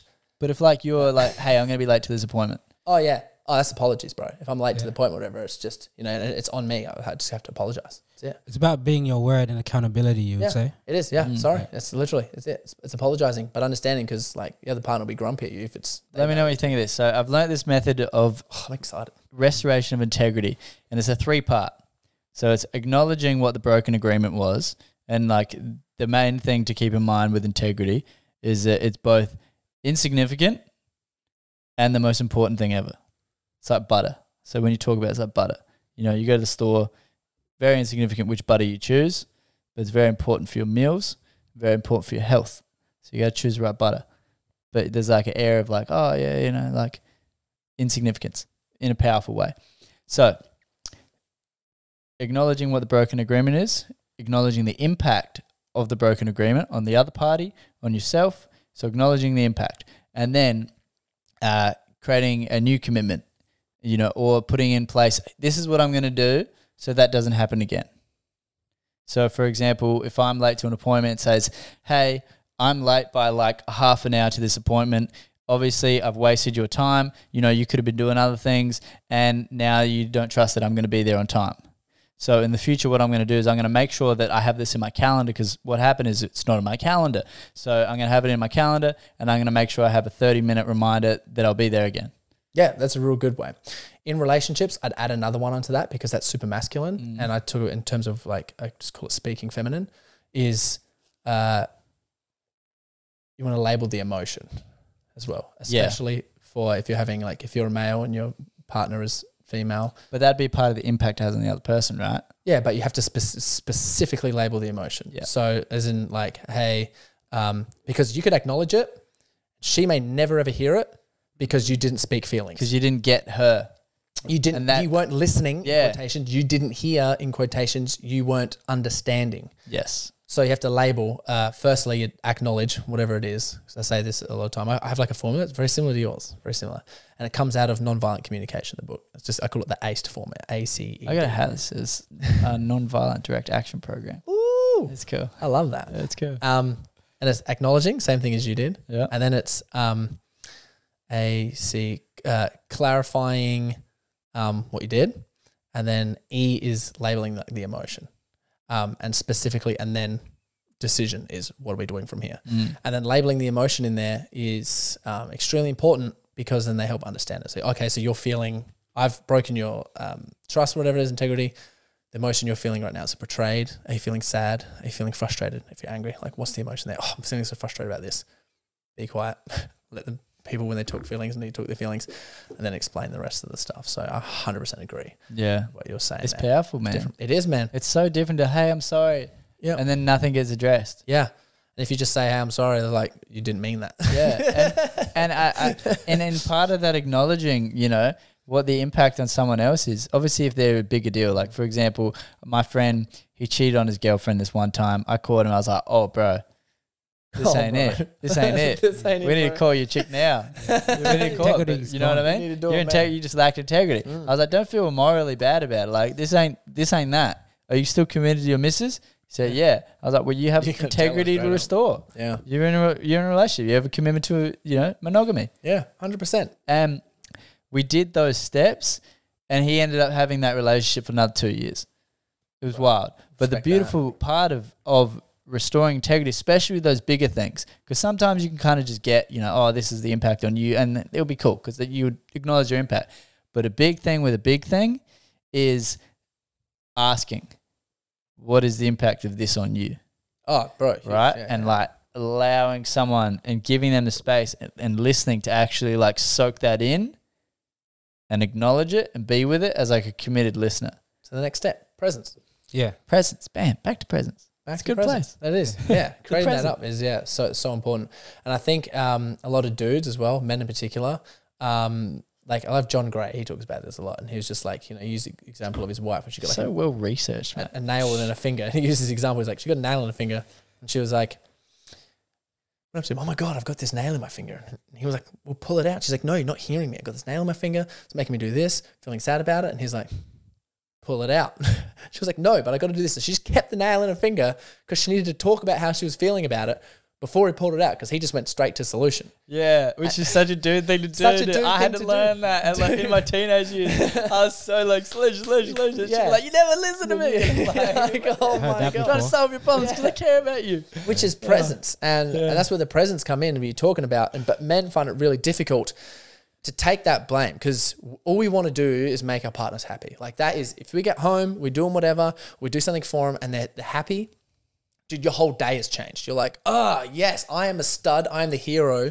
My ladies. I am that guy. My lady's happy, man. Yes. But if you're in the position where she's not happy and she needs to tell you, same as to pull the nail out, she just needs to tell you about how she's feeling. And she needs to tell you because you're the only one around. It's like she's going to really quickly call someone. So you have to take the blame. And we're real bad at taking that. That's like negative magician energy. When they'll come in and like, we'll just try to take that blame and instead we push it off and no, no, no, no. And then we like give it back. And I still get guilty of this doing myself, but like working on it like so hard. And yeah, it comes in, and then if you can go, okay, tell me more. How did I do that? How was I responsible? What that, whatever that was. Let them talk through about it the whole Yeah. time and listen intently and clarify that, and then go, okay. As a guy, I find this is a real good technique. Is like, I just need a couple minutes and let me um like think about it, then I'll get back to you Yeah. on exactly what I need to say. Like pride aside exercise. Yeah, it is. It's full on.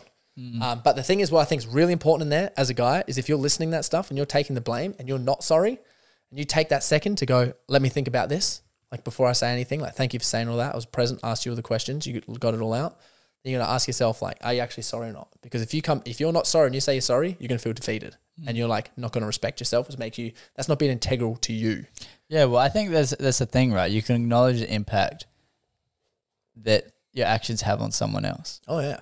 but it doesn't mean you have to say like, "I would change that." But you can acknowledge the 100%. impact. And you can say whatever it is. Sometimes you can say, "Look, I understand how you feel. I'm sorry you feel that way, but I'm not sorry about the situation." Yeah, change." right. And that, that's a big thing, especially in work scenarios. I think that's you know outside of yeah. relationship, that's a huge thing. in Work scenarios, like, hey, I'm not sorry I made this decision making process, but like I can see you're upset about it, and like, I'm sorry you feel that way, but like I do think that at the time I made the right decision. You're a genius, Right? It's like I feel like that applies to work heavy. dude. You know, especially with so many egos about people trying to be like, I know the best way to do shit. And you're like, you know, well, I was the one doing it, so I did it this way. That's when they go on this little scale. They go too much on the narcissistic side of things. oh, dude, it's Ah. wild. Some corporate places, you know. Yeah.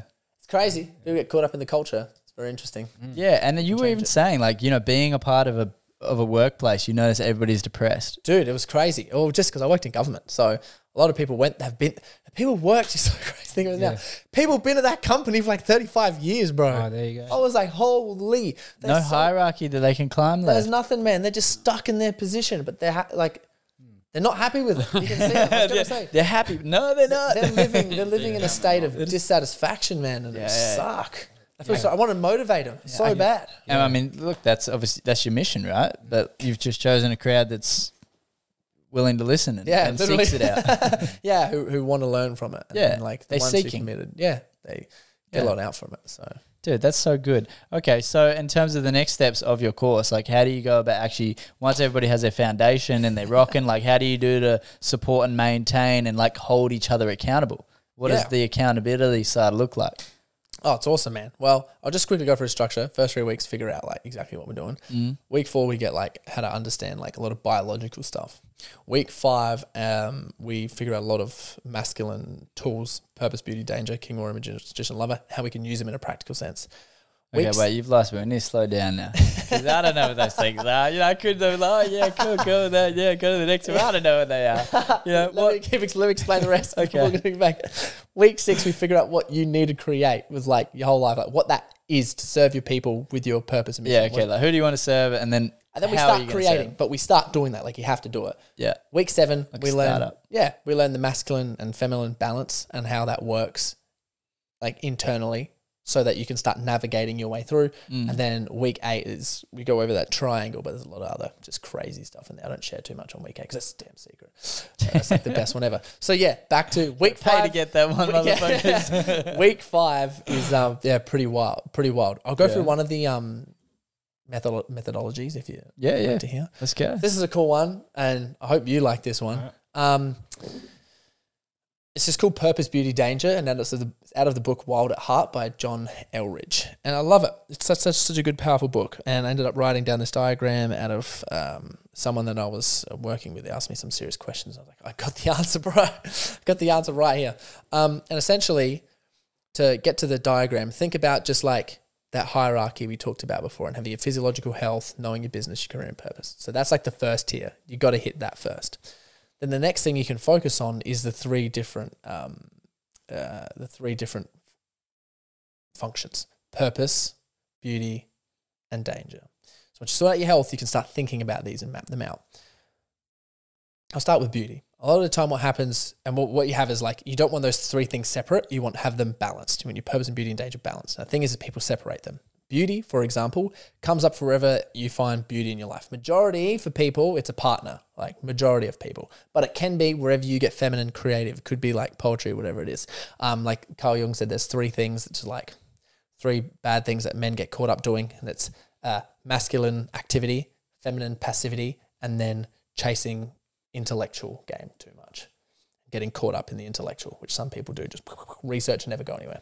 But for beauty, for example, is if you get if you don't have a purpose and you haven't got a healthy relationship with danger as a man, um, it's very easy for yourself to attach yourself to beauty and make that your purpose instead. And what happens is if you're way too attached to beauty, you come to clingy because you need her, or you start to withdraw because it's too much. And whichever happens, she goes, or you do something bad. Danger. If you don't have a healthy relationship with danger, who do you think it impacts? You? Yes. Yeah, because you you're too scared. Bro, it's going to show up You in don't venture. porn, masturbation, video games.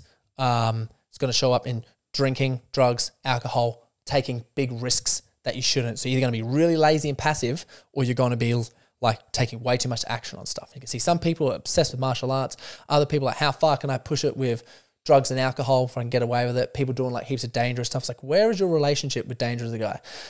Gambling, like or anything that seeks a thrill or adrenaline. And as a I had a dude, pretty good relationship with danger growing up. did you? Yeah, That's awesome. I did heaps of dangerous sports. Like extreme sports, my thing. Like I'm not good. Well, I never was really practiced in ball sports and stuff, so I never did them. What'd you do? Downhill mountain bike riding, like snowboarding, Yes. surfing. Oh yeah, all the good stuff. Fuck, great stuff, man. Just sliding around. But I could do like rock climbing. I was like, yes, I'm yeah. yeah, I believe every man should have a sense of When thrill. when you say like a bad relationship with um risk, is that more like risk taking, unhealthy risk taking? I'd say yeah, it would be. If you don't have a healthy relationship with risk taking, it'll Ah. show up in a negative way. I think the social one side of that is Huge. the biggest. Oh, big time. Yeah, dude, you self-sacrifice or you um, isolate big time if you haven't got one. There you It's, go. it's crazy, and like a lot of time, it's to to prove yourself. Um, if you haven't got a healthy relationship with it, so where does it show up? Because people, I'm like, you can have that in business, like depending where it is. Like for me, jumping on these podcasts, I got excitement, through before I come here. When I get on stage and like speak in front of people or I compete or something like that, I'm like, whoa, crazy. I get some big name person on my podcast. I'm like, oh my god, whatever it is, like it's amazing. Um, Yeah, it's good. to ha- to have all of that there. It's a healthy relationship with it. Like whatever you're doing, figure that out, integrate it. Because if you don't, it's going to impact you. And then purpose is the silent killer because you can find your purpose, but if you don't have a healthy relationship with danger, some sort of outlet for that thrill, and you don't have a good relationship with beauty, midlife crisis. Is, is that because you won't be able to be comfortable with confidence? dude well you can be still confident like you Ah. can have like your purpose and your vision your mission sorted out but like if it's not like let's say you sort of understand what your purpose is and you're working towards that and then all you're doing is working towards that and then you hit the age of like 45 50 55 60 70 and that's all you've done and like that's it and then you haven't had an experience with the family it's like you haven't gone around the hero's journey Oh, okay. you haven't done that. You have had no thrill or adrenaline. You get that age, you're like, I need to travel the world. I need to do some crazy stuff. I need to have a family, fall in love. I haven't felt any emotions other than just dopamine in my business and burnout. Like, that's it. So, purpose is like the silent killer. But man, I see people like the age of 30, like already there, just like, what the hell do I do? I feel like people are reaching that Right. sooner these days. Oh yeah, dude. Like one of my um, clients was like, he grew up dirt biking and was like thinking about you know like his family stuff, and he's like, for some reason, I keep like resenting. And we were talking about it, and, and it was like, okay, re- need to reconnect with himself and get a damn dirt bike. And it took ages. And he got his dirt bike and reconnected with himself. I was like, oh my God, I'm so much better at my business. I'm so much better at this other stuff. I'm showing up as the best person ever. Like, this is amazing. Oh my God, I just needed to figure these few things out. It's power. That's It why. So, what were some of those for you to like get you in? Because you obviously have a pretty awesome foundation by the looks of it. You're strong. You got a business that's going well. You got a community. you know. Bro, I'm just living it. To be completely honest, it's super overwhelming, and I'm so proud of myself for it. Like I'm so my, my life is awesome, and I'm awesome. I'd want to hang out with me if I wasn't me. if I wasn't me, I'd be like, hang out with you, bro. You're sick. Yeah, dude. But seriously, when I went over all these things and thought about it, I was like, well, I get all of my danger from the public speaking, from competing, from leg day, Saturday morning in the gym. Mm. Yeah. You guys invited Hey, if you want to come. I love going to the gym. Oh, dude, it's the best. So So this year I've really gone hard at it. I, I was an athlete, and um, when I was playing basketball, and I was gonna go um, pro and everything, um, that taught me oh, yeah. what comes with exercise and fitness.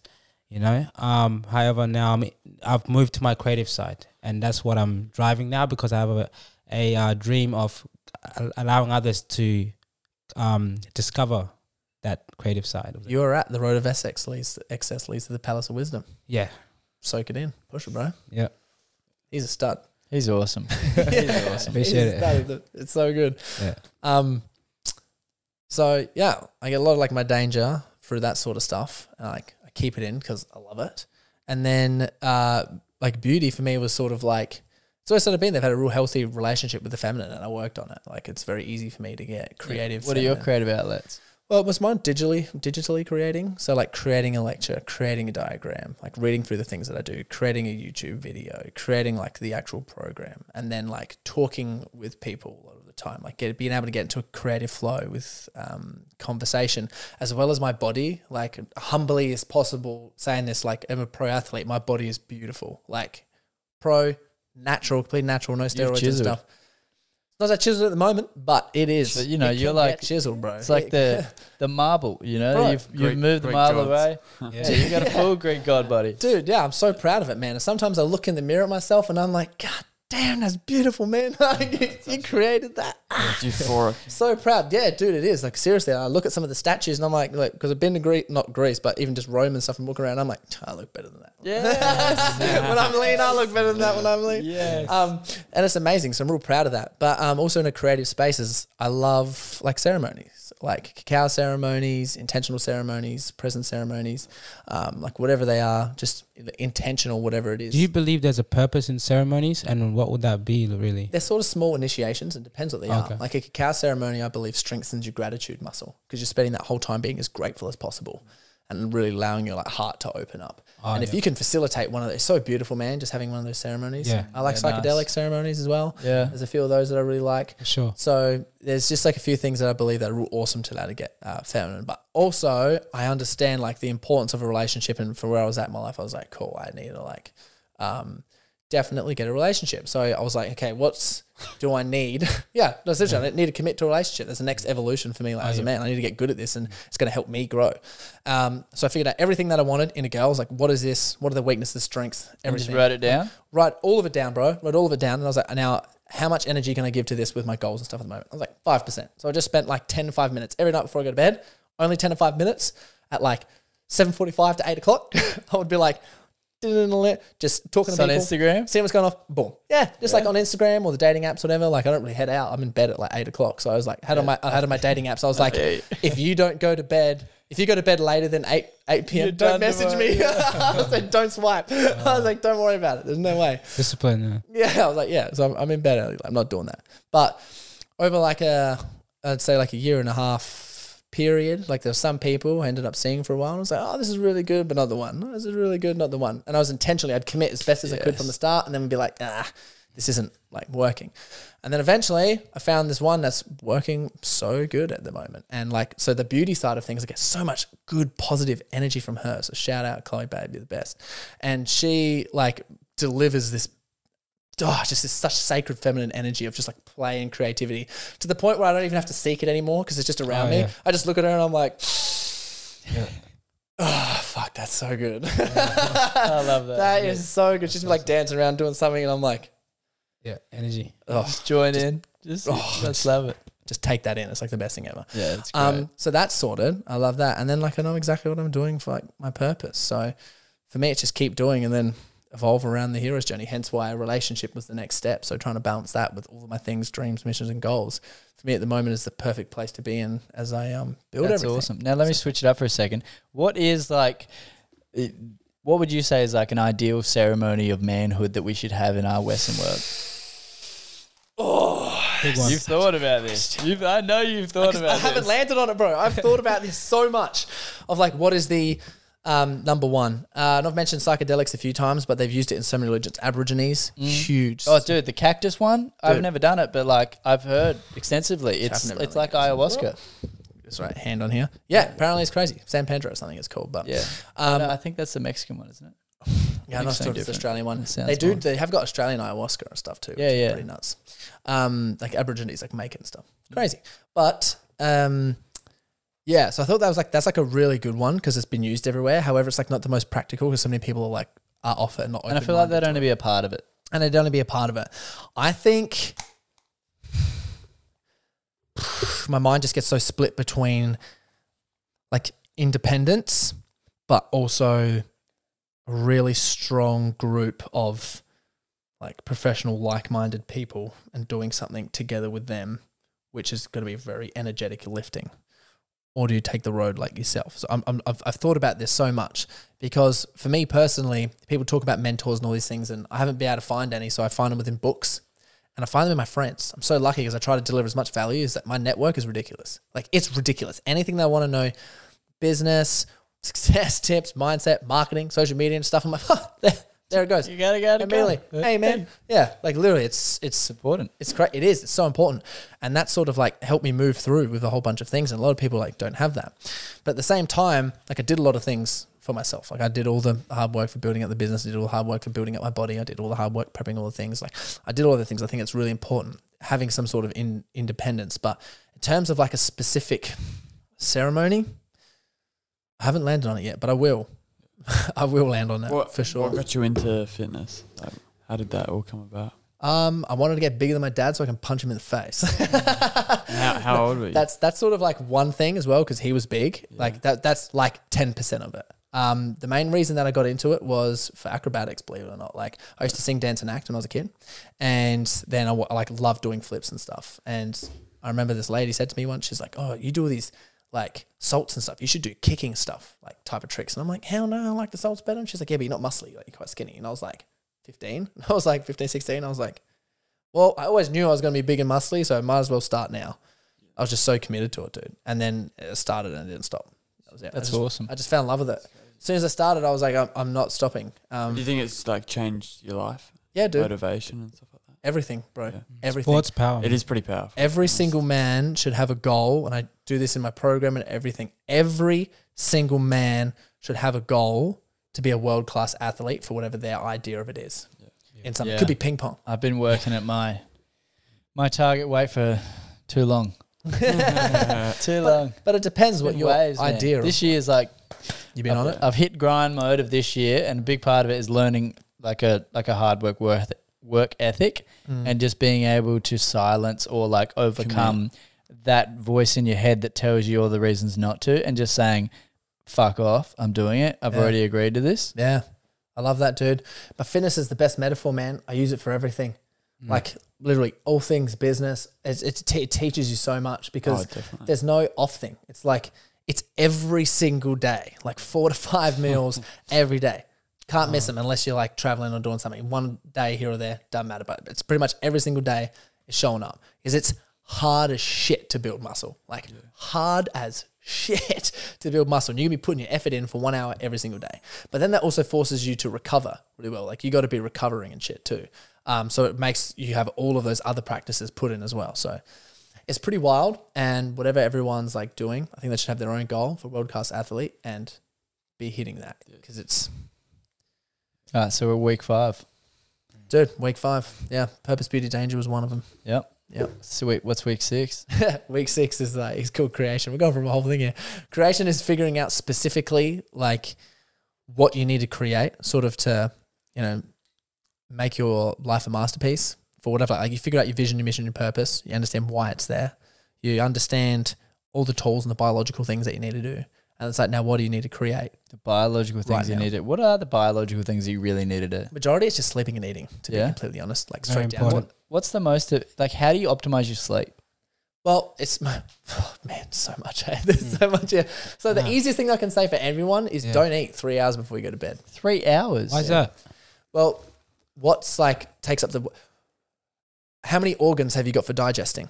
Okay, One. fair enough. Everything. See where you Everything, right? Literally all of your damn organs. Your teeth are organs, bro. What do they Yeah, use? Chew food. True. So all your energy goes to digesting food, man. Right. So if you eat before you go to bed, it's going to be digesting it. I recorded all on an Oura ring going around here so you Like can my see all the stuff. he's on one meal a day. Is he? Yeah, lunch he's on a carnivorous diet, Yeah. like health health nut. Um, and gym's like what, six days a week. So, yeah, What a beast. I know, I know. Yeah, that's tough. Yeah, that's Oh, crazy it's with the one crazy. meal. Just one big ass meal. Oh, yeah. Five o'clock, three hours before bed. Get a good sleep. Wake yeah, up. massive steak. Good to go. I love Yeah, that. he's lean, mean fighting machine.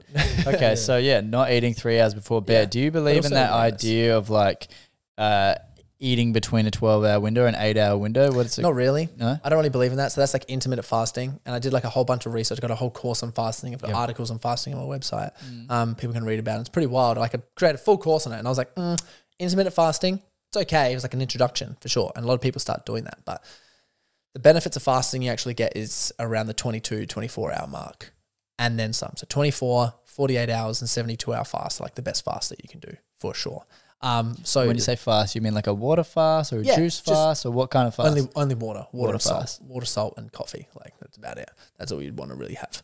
Um, sometimes I call these things enhanced fast, where you can just optimize using certain fats, get your brain going. If you're an entrepreneur and you want to like kick some ass, or if you just want to be like "Ah," in the zone, you can like use fats with your coffee and stuff. Wild, um, real good for your guts, good clean out. But for the main purposes of fasting, the best thing is you want to like get rid of junk cells in your body, and mm, you do that by Vegetable oil is big for that, isn't it? yeah, bro, it's wild. And junk DNA. And your body starts cleansing it after about 22, 24 hours. And it spikes a few times throughout the, that like two, three days. So if you did a forty-eight hour of yeah forty-eight hour fast, would it get rid of all of it, or would you like? How many times would you need to do it to like clear? Let's say you're eating like a healthy diet in between Okay. those. I'll use my dad as an example because he had a cancer scare. He had cancer scares, blood test done, everything was screwed real bad. And he's like, I'm like, "Dad- Dad, you need to start fasting. You need one thing for health because he wasn't exercising and he's eating shit. And he's like, all right. So we started one 24 hour fast a week. Nine months later, I was like, I'm going to challenge you. Let's do 10 three day fasts. That's Every over the week. year. No, in a row. 10 three day fasts. So we do Once one week, week. He'd start on Tuesday, wouldn't eat till what Tuesday, Wednesday, Thursday, Friday, whatever it is, Thursday, Friday, or whatever it was, and then he'd eat whatever that day is. Um, over the ten fasts, he'd lost like eighteen kilos. He'd never been healthier like in his entire life. He went back to the blood, uh, the doctors. They're like, "There's no trace of cancer, whatever is here. There is." All your blood test results are magic. Like they're all perfect. There's nothing out whatsoever. Everything is like optimized. It's like you've never even had this stuff beforehand. So it's just wild. the continuous practice of it, man. Like everyone knows that the, the stuff when they say with smoking, you give up smoking, and it's like three months later, it's like your lungs almost back to normal. So it's like it's the consistent practice of something, and it's the same thing with sleep, the same thing with eating. So there's this theory called the triage theory. Bruce Ames wrote about it. I learned it from Muscle Nerds. I say it's all the podcasts. Shout out Muscle Nerds; they're amazing. And uh, the theory is essentially if you don't have the micronutrients that your body needs, it digs into short term stress. So, literally, if you're not well fed enough, your body pumps cortisol to deal with like, because it thinks I'm in a stress state because I'm not getting nutrients in. It's sort of like this is an example. If you start drinking lots of water, like it acts as a diuretic because it's like, oh, cool, there's water coming in. Let's get rid of all of it. Same thing with like stress in your body. Oh, we've got ample amounts of nutrients coming in. We can let stress go. Like we don't need any of that stuff. But you can track this. Ah, which is a real cool thing. So there's an app you can use. There's different ones, sort of like MyFitnessPal, but there's another one called Cronometer, and it tracks all of your minerals and vitamins, your different types of proteins, your omega threes, all your different fats, um, and your like certain carbohydrates that you have, high and low GI carbohydrates. But I just get people to look at the vitamins and minerals, and that's it. Like screw looking at anything else. That and some of your fats to make sure your proteins are up. They go through that. They do it for a week. I'm like, how do you feel for the end of this week from the start of the week? They're like, I probably never felt better in my entire life. To be completely honest, bro, I'm feeling fucking awesome. Yeah. That's like, wow, huge. Yeah, because I notice I, if I miss a meal, I'm I'm starving. I'm hungry and angry. Hangry, bro. Oh, dude, heavy, heavy. It gets me. And uh, like, because I have like this subconscious idea was like, I want to stay lean. I want to like, you know, I don't want to put too much weight on us. I'm gonna potentially get fat like my dad did, and I'm like, oh, I don't want to do that. Um, but I'm also lean and have always been lean, and I eat and I go to the toilet, and I've never gained. I've never been over seventy kilos in my life. Nice. So, like, Do you want to get over 70 kilos? I do. I want to be seventy three. Nice. That's my goal. I'm like 66, 67. everything's think about it, it goes up and down when you're looking at certain things. Like so you have to go with periods of time where it's like, oh, you're gonna have a little bit more, then you drop off, and you have a little bit more, then you drop off. You just don't want to go road of excess leads to the palace of wisdom and just like go all one way, then go get fat. Like you don't do that. No, I But- want to get fat. You gotta put on a couple of kilos and then drop back a kilo. And then put on a couple of kilos and drop back a kilo. But the best way to do anything for anything for anyone is just to hit your micronutrients and So what? How do you hit your micronutrients? well, you got to figure out nutrient dense foods that you like. Yeah, that's a big thing, isn't it? And that's the that's why I get people to track it through a thing because then they're like, oh, then they're forced to be in the position like, what the hell do I eat? And they're like, eggs.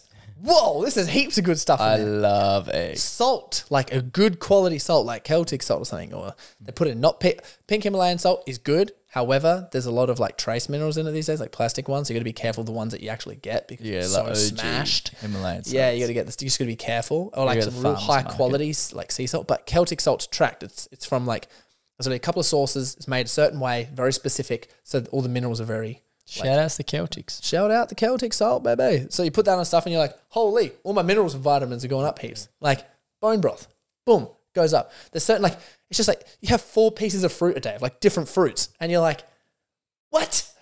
It's got all these vitamins and stuff in here, and I'm not eating these. What? Like it's crazy. So Yeah, diversity, bro. diversity in your diet that's for it. sure. And yeah, some veggies are not created equal. That is for sure. What are the best veggies? Uh, I really like mushrooms, man. Yeah, mushrooms. Are Yeah, great. they- what they're what kind of mushrooms? Um, like all of them, to be honest. Like I went for a stage where, like, because I eat like a lot of, I got my DNA tested, and one of the things they were like, you need lots of cruciferous vegetables, so broccoli, Brussels sprouts, cauliflower, cabbage, and like, you know, eat that for a while, you start farting all over the place, man. I was like, God damn, I got some gut stuff going. I'm eating way too many cruciferous. Is what can I do? So I just changed it up to like, uh, just like capsicums, a few some other easy, easy things, but I wanted the nutrients up. I like all those things except for Brussels sprouts. Dude, Just I love sounds Brussels good. Cook it in butter as well. Um, but like I ate so much of those and I changed and I was like, how can I get these micronutrients in? So I just changed all mushrooms. I'd eat like enoki mushrooms, taki mushrooms, brown just do a mushrooms, swish mushrooms. I just all the exotic mushrooms. Boom. Track that. All my minerals in. I was like, nice. Beautiful. And how do you find seasoning? Because obviously seasoning's when a lot of the sweets come in, a lot of sugar and stuff like that. Yeah. And obviously you probably don't want to eat heaps of sugar in your diet because we all, you know, we know sugar is like cancer. Like it's not good. Yeah. I think there's a time and place for it though. Depends. I think for like for like uh psychological stuff, like sometimes because we've been grown up on it, you just need to have a Lemon little curd bit tart in every now and then. Oh, Little, little bro. Magnum ice cream or some shit. yeah, dude. You got to have that some way, and you, and you can burn it off really quick. Like, it's one good thing about sugar. Yes, it's bad, but you can burn off like the energy and get rid of it and detoxify it really quick. Especially if you've got a really healthy diet as well. Your detoxification ability in your body is fantastic. So, like, that's not an excuse to do anything if you haven't got everything optimized. Try not to eat any of that stuff whatsoever because your body's never going to detoxify it. But yeah, it's basically it. Eight mushrooms, bro. How do you the season? nutrients. How do you Oh, season. That's right, Yeah. dude. I just use salt and like olive oil. Okay, so I'm you're pretty- addicted to like some good quality aioli. Like I get some uh, organic dude. aioli at the moment, Aioli's bro. great. I like just literally with a meal. I just get like three carrots. I'll just dip them in the aioli and just eat the carrots. Oh, that's So just at fair. the moment. So fair. Okay, so what do you think about? Because obviously olive oil has its burning threshold, and I've heard it actually gets carcinogenic or some stuff, and it's really not good for you when you burn it. So how Well, do you? I really trust Ben Greenfield, man. And he's like, if you get a really good quality extra virgin, um, like extra virgin cold pressed olive oil, he's like the smoking point's a lot higher than what people think for him. So you got to kind of I've test. Heard that. I've heard that before. Yeah, I've That's good that. to hear because I love it. because I love it. Yeah, cooking in it. So what I would do is just recommend, um, and I have done this before, like 'cause I, pre- I just prefer cooking in it. But I'd cook in something like Probably nothing, really. Fats? vinegar. I like. I do like grass fed beef fats. Yeah, like I've lard. used that before. Is in beef suet, um, lard, and I like um, butter as well. But sometimes I'll just cook in nothing and just put some olive oil on top. Like literally, if you're gonna make it something at the bottom of the pan, put like salt and vinegar down because vinegar makes it not stick. You just got to like move it around a little bit. Your food if you got it in the pan, but vinegar works awesome. Anything sticking, put a bit of vinegar in there. Uh-uh, not sticking no more, and then just yeah, put some Good olive hack. oil. I didn't even know that one. A little bit of vinegar. Yeah, that's, That's a hack. great. Yeah, dude, some good quality stuff. Have you tried ghee before? Oh, bro, I love ghee. It's so good. Dude, geese. The I- flavor. I, oh my God. I could like eat it off the spoon. I oh. eat it off the spoon, bro. I sometimes I'm oh. like, Way better than butter. All right. yeah. Flavors everything. Yeah, dude, I love it. I was actually thinking about that on the way here because I like missed a meal and I want to get one. And I was at the shops and I was like, do I just buy some ghee and eat it before the podcast because it's going to be good for my brain? But so fair. I decided not to. I was like, maybe not because it's the whole jar of ghee. So your Whoa, audience, sorry. how big's your audience at the moment in terms of like your coaching programs and like what's the goal is for you? yeah, so we've got about 50 people in the coaching program. And then I've got like, um, like six or seven one-on-one clients. So basically overcome the chaos. I just intake 10 to 12 a month. That's it. Yep. not doing any any more than that because I can't manage it's too much. Um, like to manage and stuff, and it's good for the people because then they can actually get to know each other and all those things as well. So I think that's really good. And then for the modern leaders accountability group, we've got a capacity of 100, and currently we've got in there like seven or eight people, which is really cool. So That's awesome. yeah, Good on you. And do you want to get to like Tony Robbins level? Was that the, oh for sure, yeah, definitely, bro. Awesome. Yeah, straight up. Like my goal, sort of like to be Australia's Tony Robbins with the stuff. Help people do stuff, man. Take action on things. I'd love that. That'd be Yeah. the best. But not Tony Robbins. I mean Corey Boutwell. I like Yes. what I'm doing. Mm. So You are Corey. I am Corey. So I just want to help out everyone, especially Australians, because I think like where we're at in terms of like myth, religion, and stuff.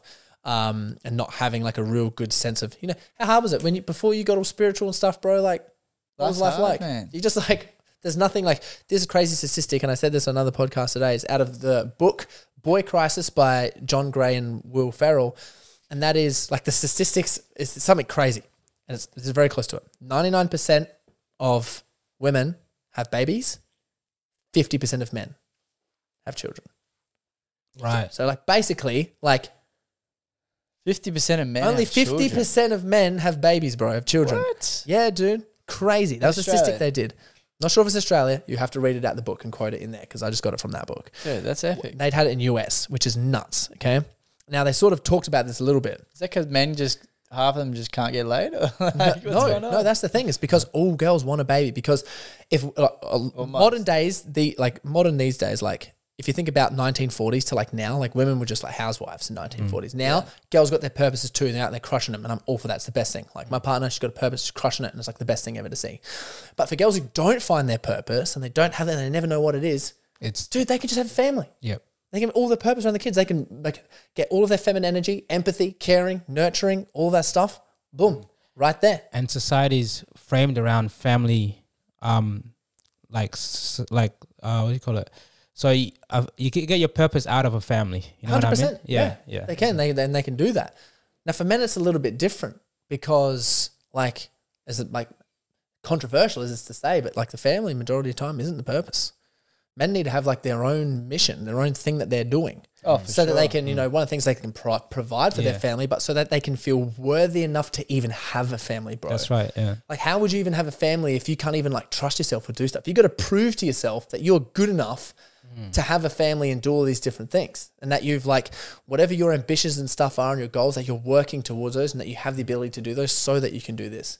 wow that's, someone that's else. very true It's crazy. yeah So we got to find that purpose in this vision and mission first, because if we've got no one to protect, then why are we protecting? You know That's what I mean? right. Yeah. like, right? Like, and it's and like it, we need to do something to be able to protect people, and that's like whatever your vision and your purpose is.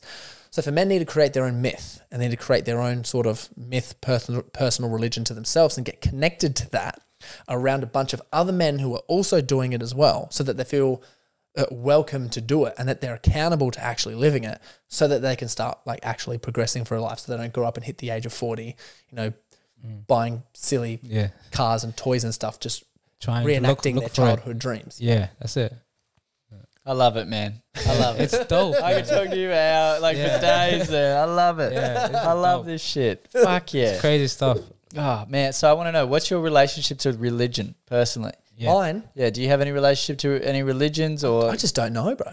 I just I'm just so in the unknown about it. Yeah. Like I research a lot of it, understand all of their stories, and what it just points to me basically is all the religion stuff. Is it just like dude, I love all the spiritual stuff. By the way, there's so much unknown out there that I'm just so unaware of. But man, when it just comes to religion, it just keeps po- pointing me back to the hero's journey, man, and just being is there like, a God? is there? even God? I don't know, man. Well, what about Honestly, through your I don't know. psychedelic experiences? Have you had that like There is- experience of like It depends on absolute oneness and like the being part of this like cosmic web of existence and being in the presence of Buddha and it's like this nurturing thing? Yep.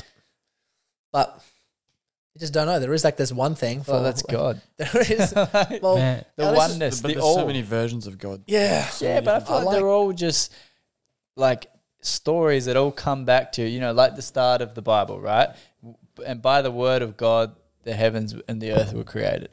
It's like word, it's frequency. It's just this energy. It's the all prevailing. And have you read the seven hermetic principles? I haven't.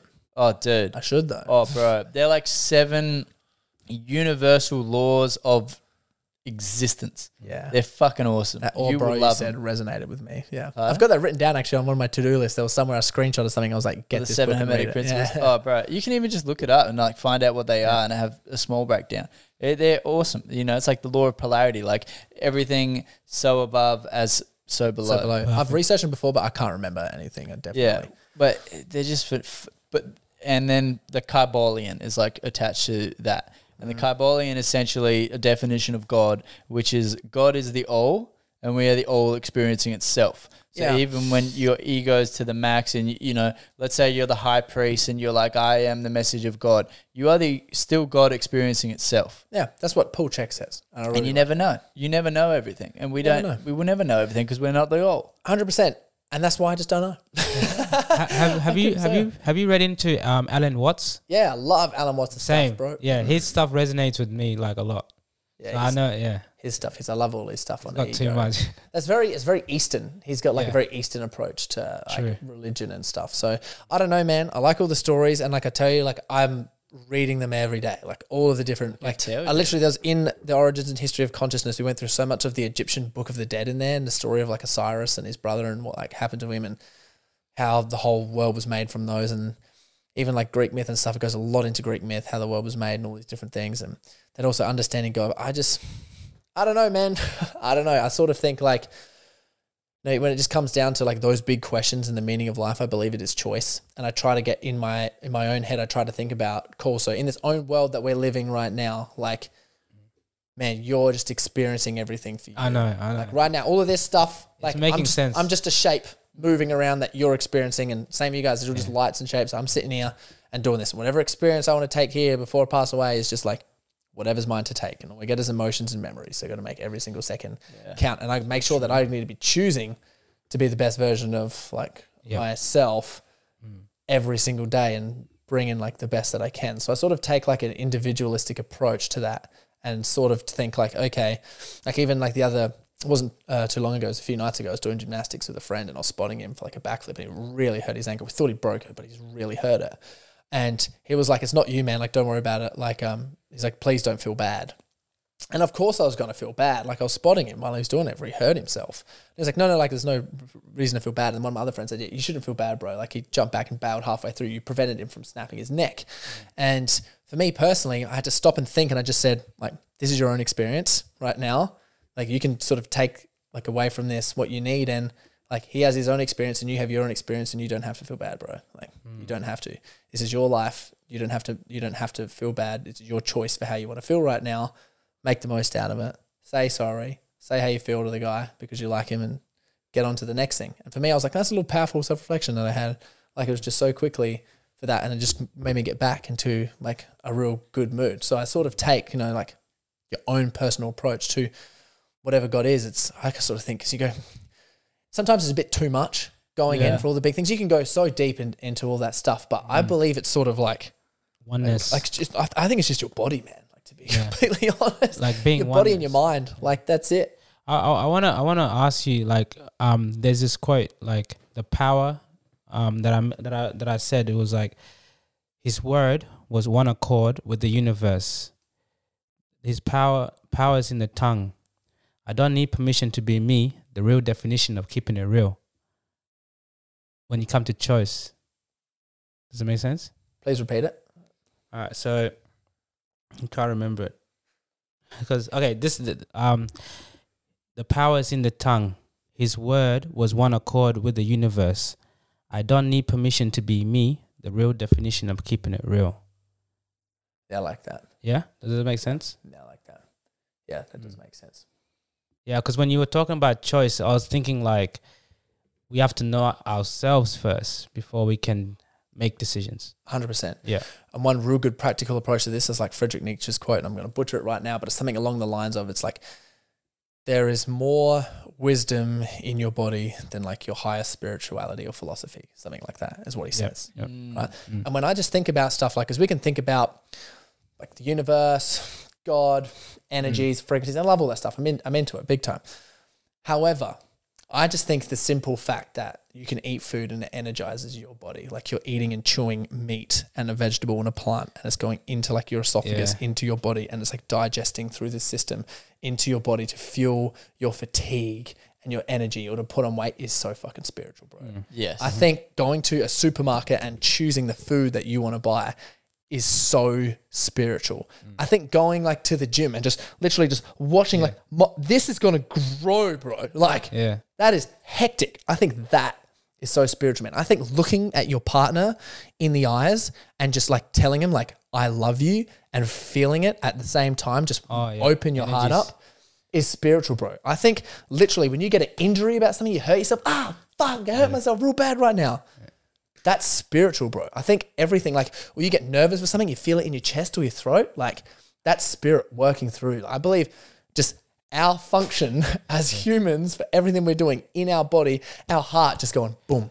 Yep. That's why I said. That's why I said Spiritual his word was one accord with the universe because words are powerful. Yeah, bro. It's, and then spiritual is in between those two. Yeah. Yeah. Yeah, I love that. Mm. Yeah. It's crazy, yeah. Dude, I love it. I love it, man. Yeah. No. We're done. this is it. Well, That was amazing. Same with bro. that. was like That's great. The greatest conversation ever. oh, bro, thank you. That makes Yeah. me feel really special, man. Thanks Yeah, awesome. I love being here. Thank you for hosting. Thanks for asking awesome questions and being interested. I love talking to people. Did you ever notice? Dude, I feel you, Thanks man. for creating the That's why I did this. I love, I love having a chit chat. That's Yeah, what's your voyage. And you, like, you're amazing, dude. Just putting that. He's great. Hey, Yeah. Like, you're super knowledgeable, all the personal development stuff. Like, you could create a course, like, honestly, and people could do it. Like, seriously, your wisdom is fantastic. And I love all the things that you add, and I'm going to take those away and um, really receive them and use them from other stuff as well. So, Man, there's more chats to have for sure. oh, There's Yeah. more chats to have. I, I was already thinking like we need another chat. yeah, there's more chats to have for There's a sure. lot. Oh, any Owen, anything you'd like to say before we chop out? Thanks for coming on. Hey, Uh. I've learned a lot, uh, even though I'm quite younger than you guys. That's very knowledgeable, I suppose. So yeah, you- I can how, how old are you, Yeah. Owen? I'm only 20. Well, I just turned 20. Bro, imagine being 20 and learning all the shit. Bro, I, I was 19. You, you were doing I was 19. Dude, like, it's like I know I didn't say much, but I just took it in. Dude, oh, it's the most important thing ever, bro. Yeah. I'm, I'm jealous that you're your age Yeah. doing all I'm, this. I'm, I'm also going through it. You know, I'm taking it in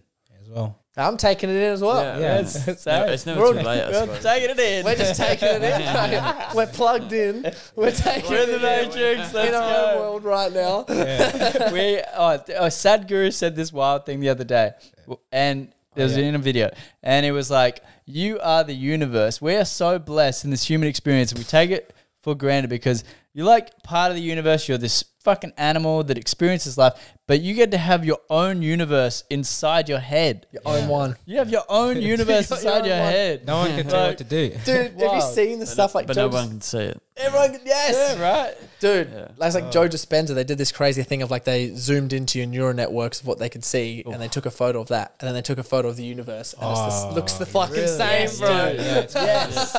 Dude, Legit. Yeah. this world Wow. is crazy. Bill, anything you'd like to say before we cut out? Nah, thank you so much. Like I learned a lot, and it's reaffirming things that I, I'm already affirming out of my work. You know, it's like it's crazy. And I already had a couple conversations with Hamish, and this was such a good conversation all together. Like we're just absorbing it. I'm just motivated to get shit done. Everyone who's listening, go get some damn Get it shit done. done. Yeah. And Bjorn, keep going, man. Where can we Gotcha. find you? Oh man, so I'm most active on my Instagram. gr- Instagram, Corey Boutwell, C O R E Y B O U T W E double L. I'm uh, most active in there. Please send me a message with anything. All of my stuff is all linked on there. I do have a website, CoreyBoutwell.com, but that's specific for like some articles that I've got and for Overcome the Chaos. It's like a sales page. if you're interested in that. That's basically what it is. I also have my own podcast called Corey Boutwell Podcast, and it's on all platforms. And I'm on like YouTube as well. I'm pretty active on there. So they're the main places that you can find me. Um, I'd say please shout out, please send a message if you listen to any of this stuff, and can't wait for everyone who's listening to listen to it and reshare it and post it everywhere. You guys studs. Beautiful. Thank you very much for coming on. I appreciate your time. I appreciate your authenticity, sharing about your life in very intimate ways, and actually, you know, pulling apart what it what your version of living is and how you actually go about it and how you're sharing with people. Like, thank you. This is stuff people need to start living with. Hundred percent. And that's very important. Like nearly every um, tier of life, like if it's education, employment, you know, these principles are very important in all lives because it's the essence of us. Uh, yeah. Hundred percent, man. Yeah. Couldn't agree more. All right, beautiful. Put the mics down, play the outro. It's done. Unless you had someone to say. That's it, guys. All right. Thank you.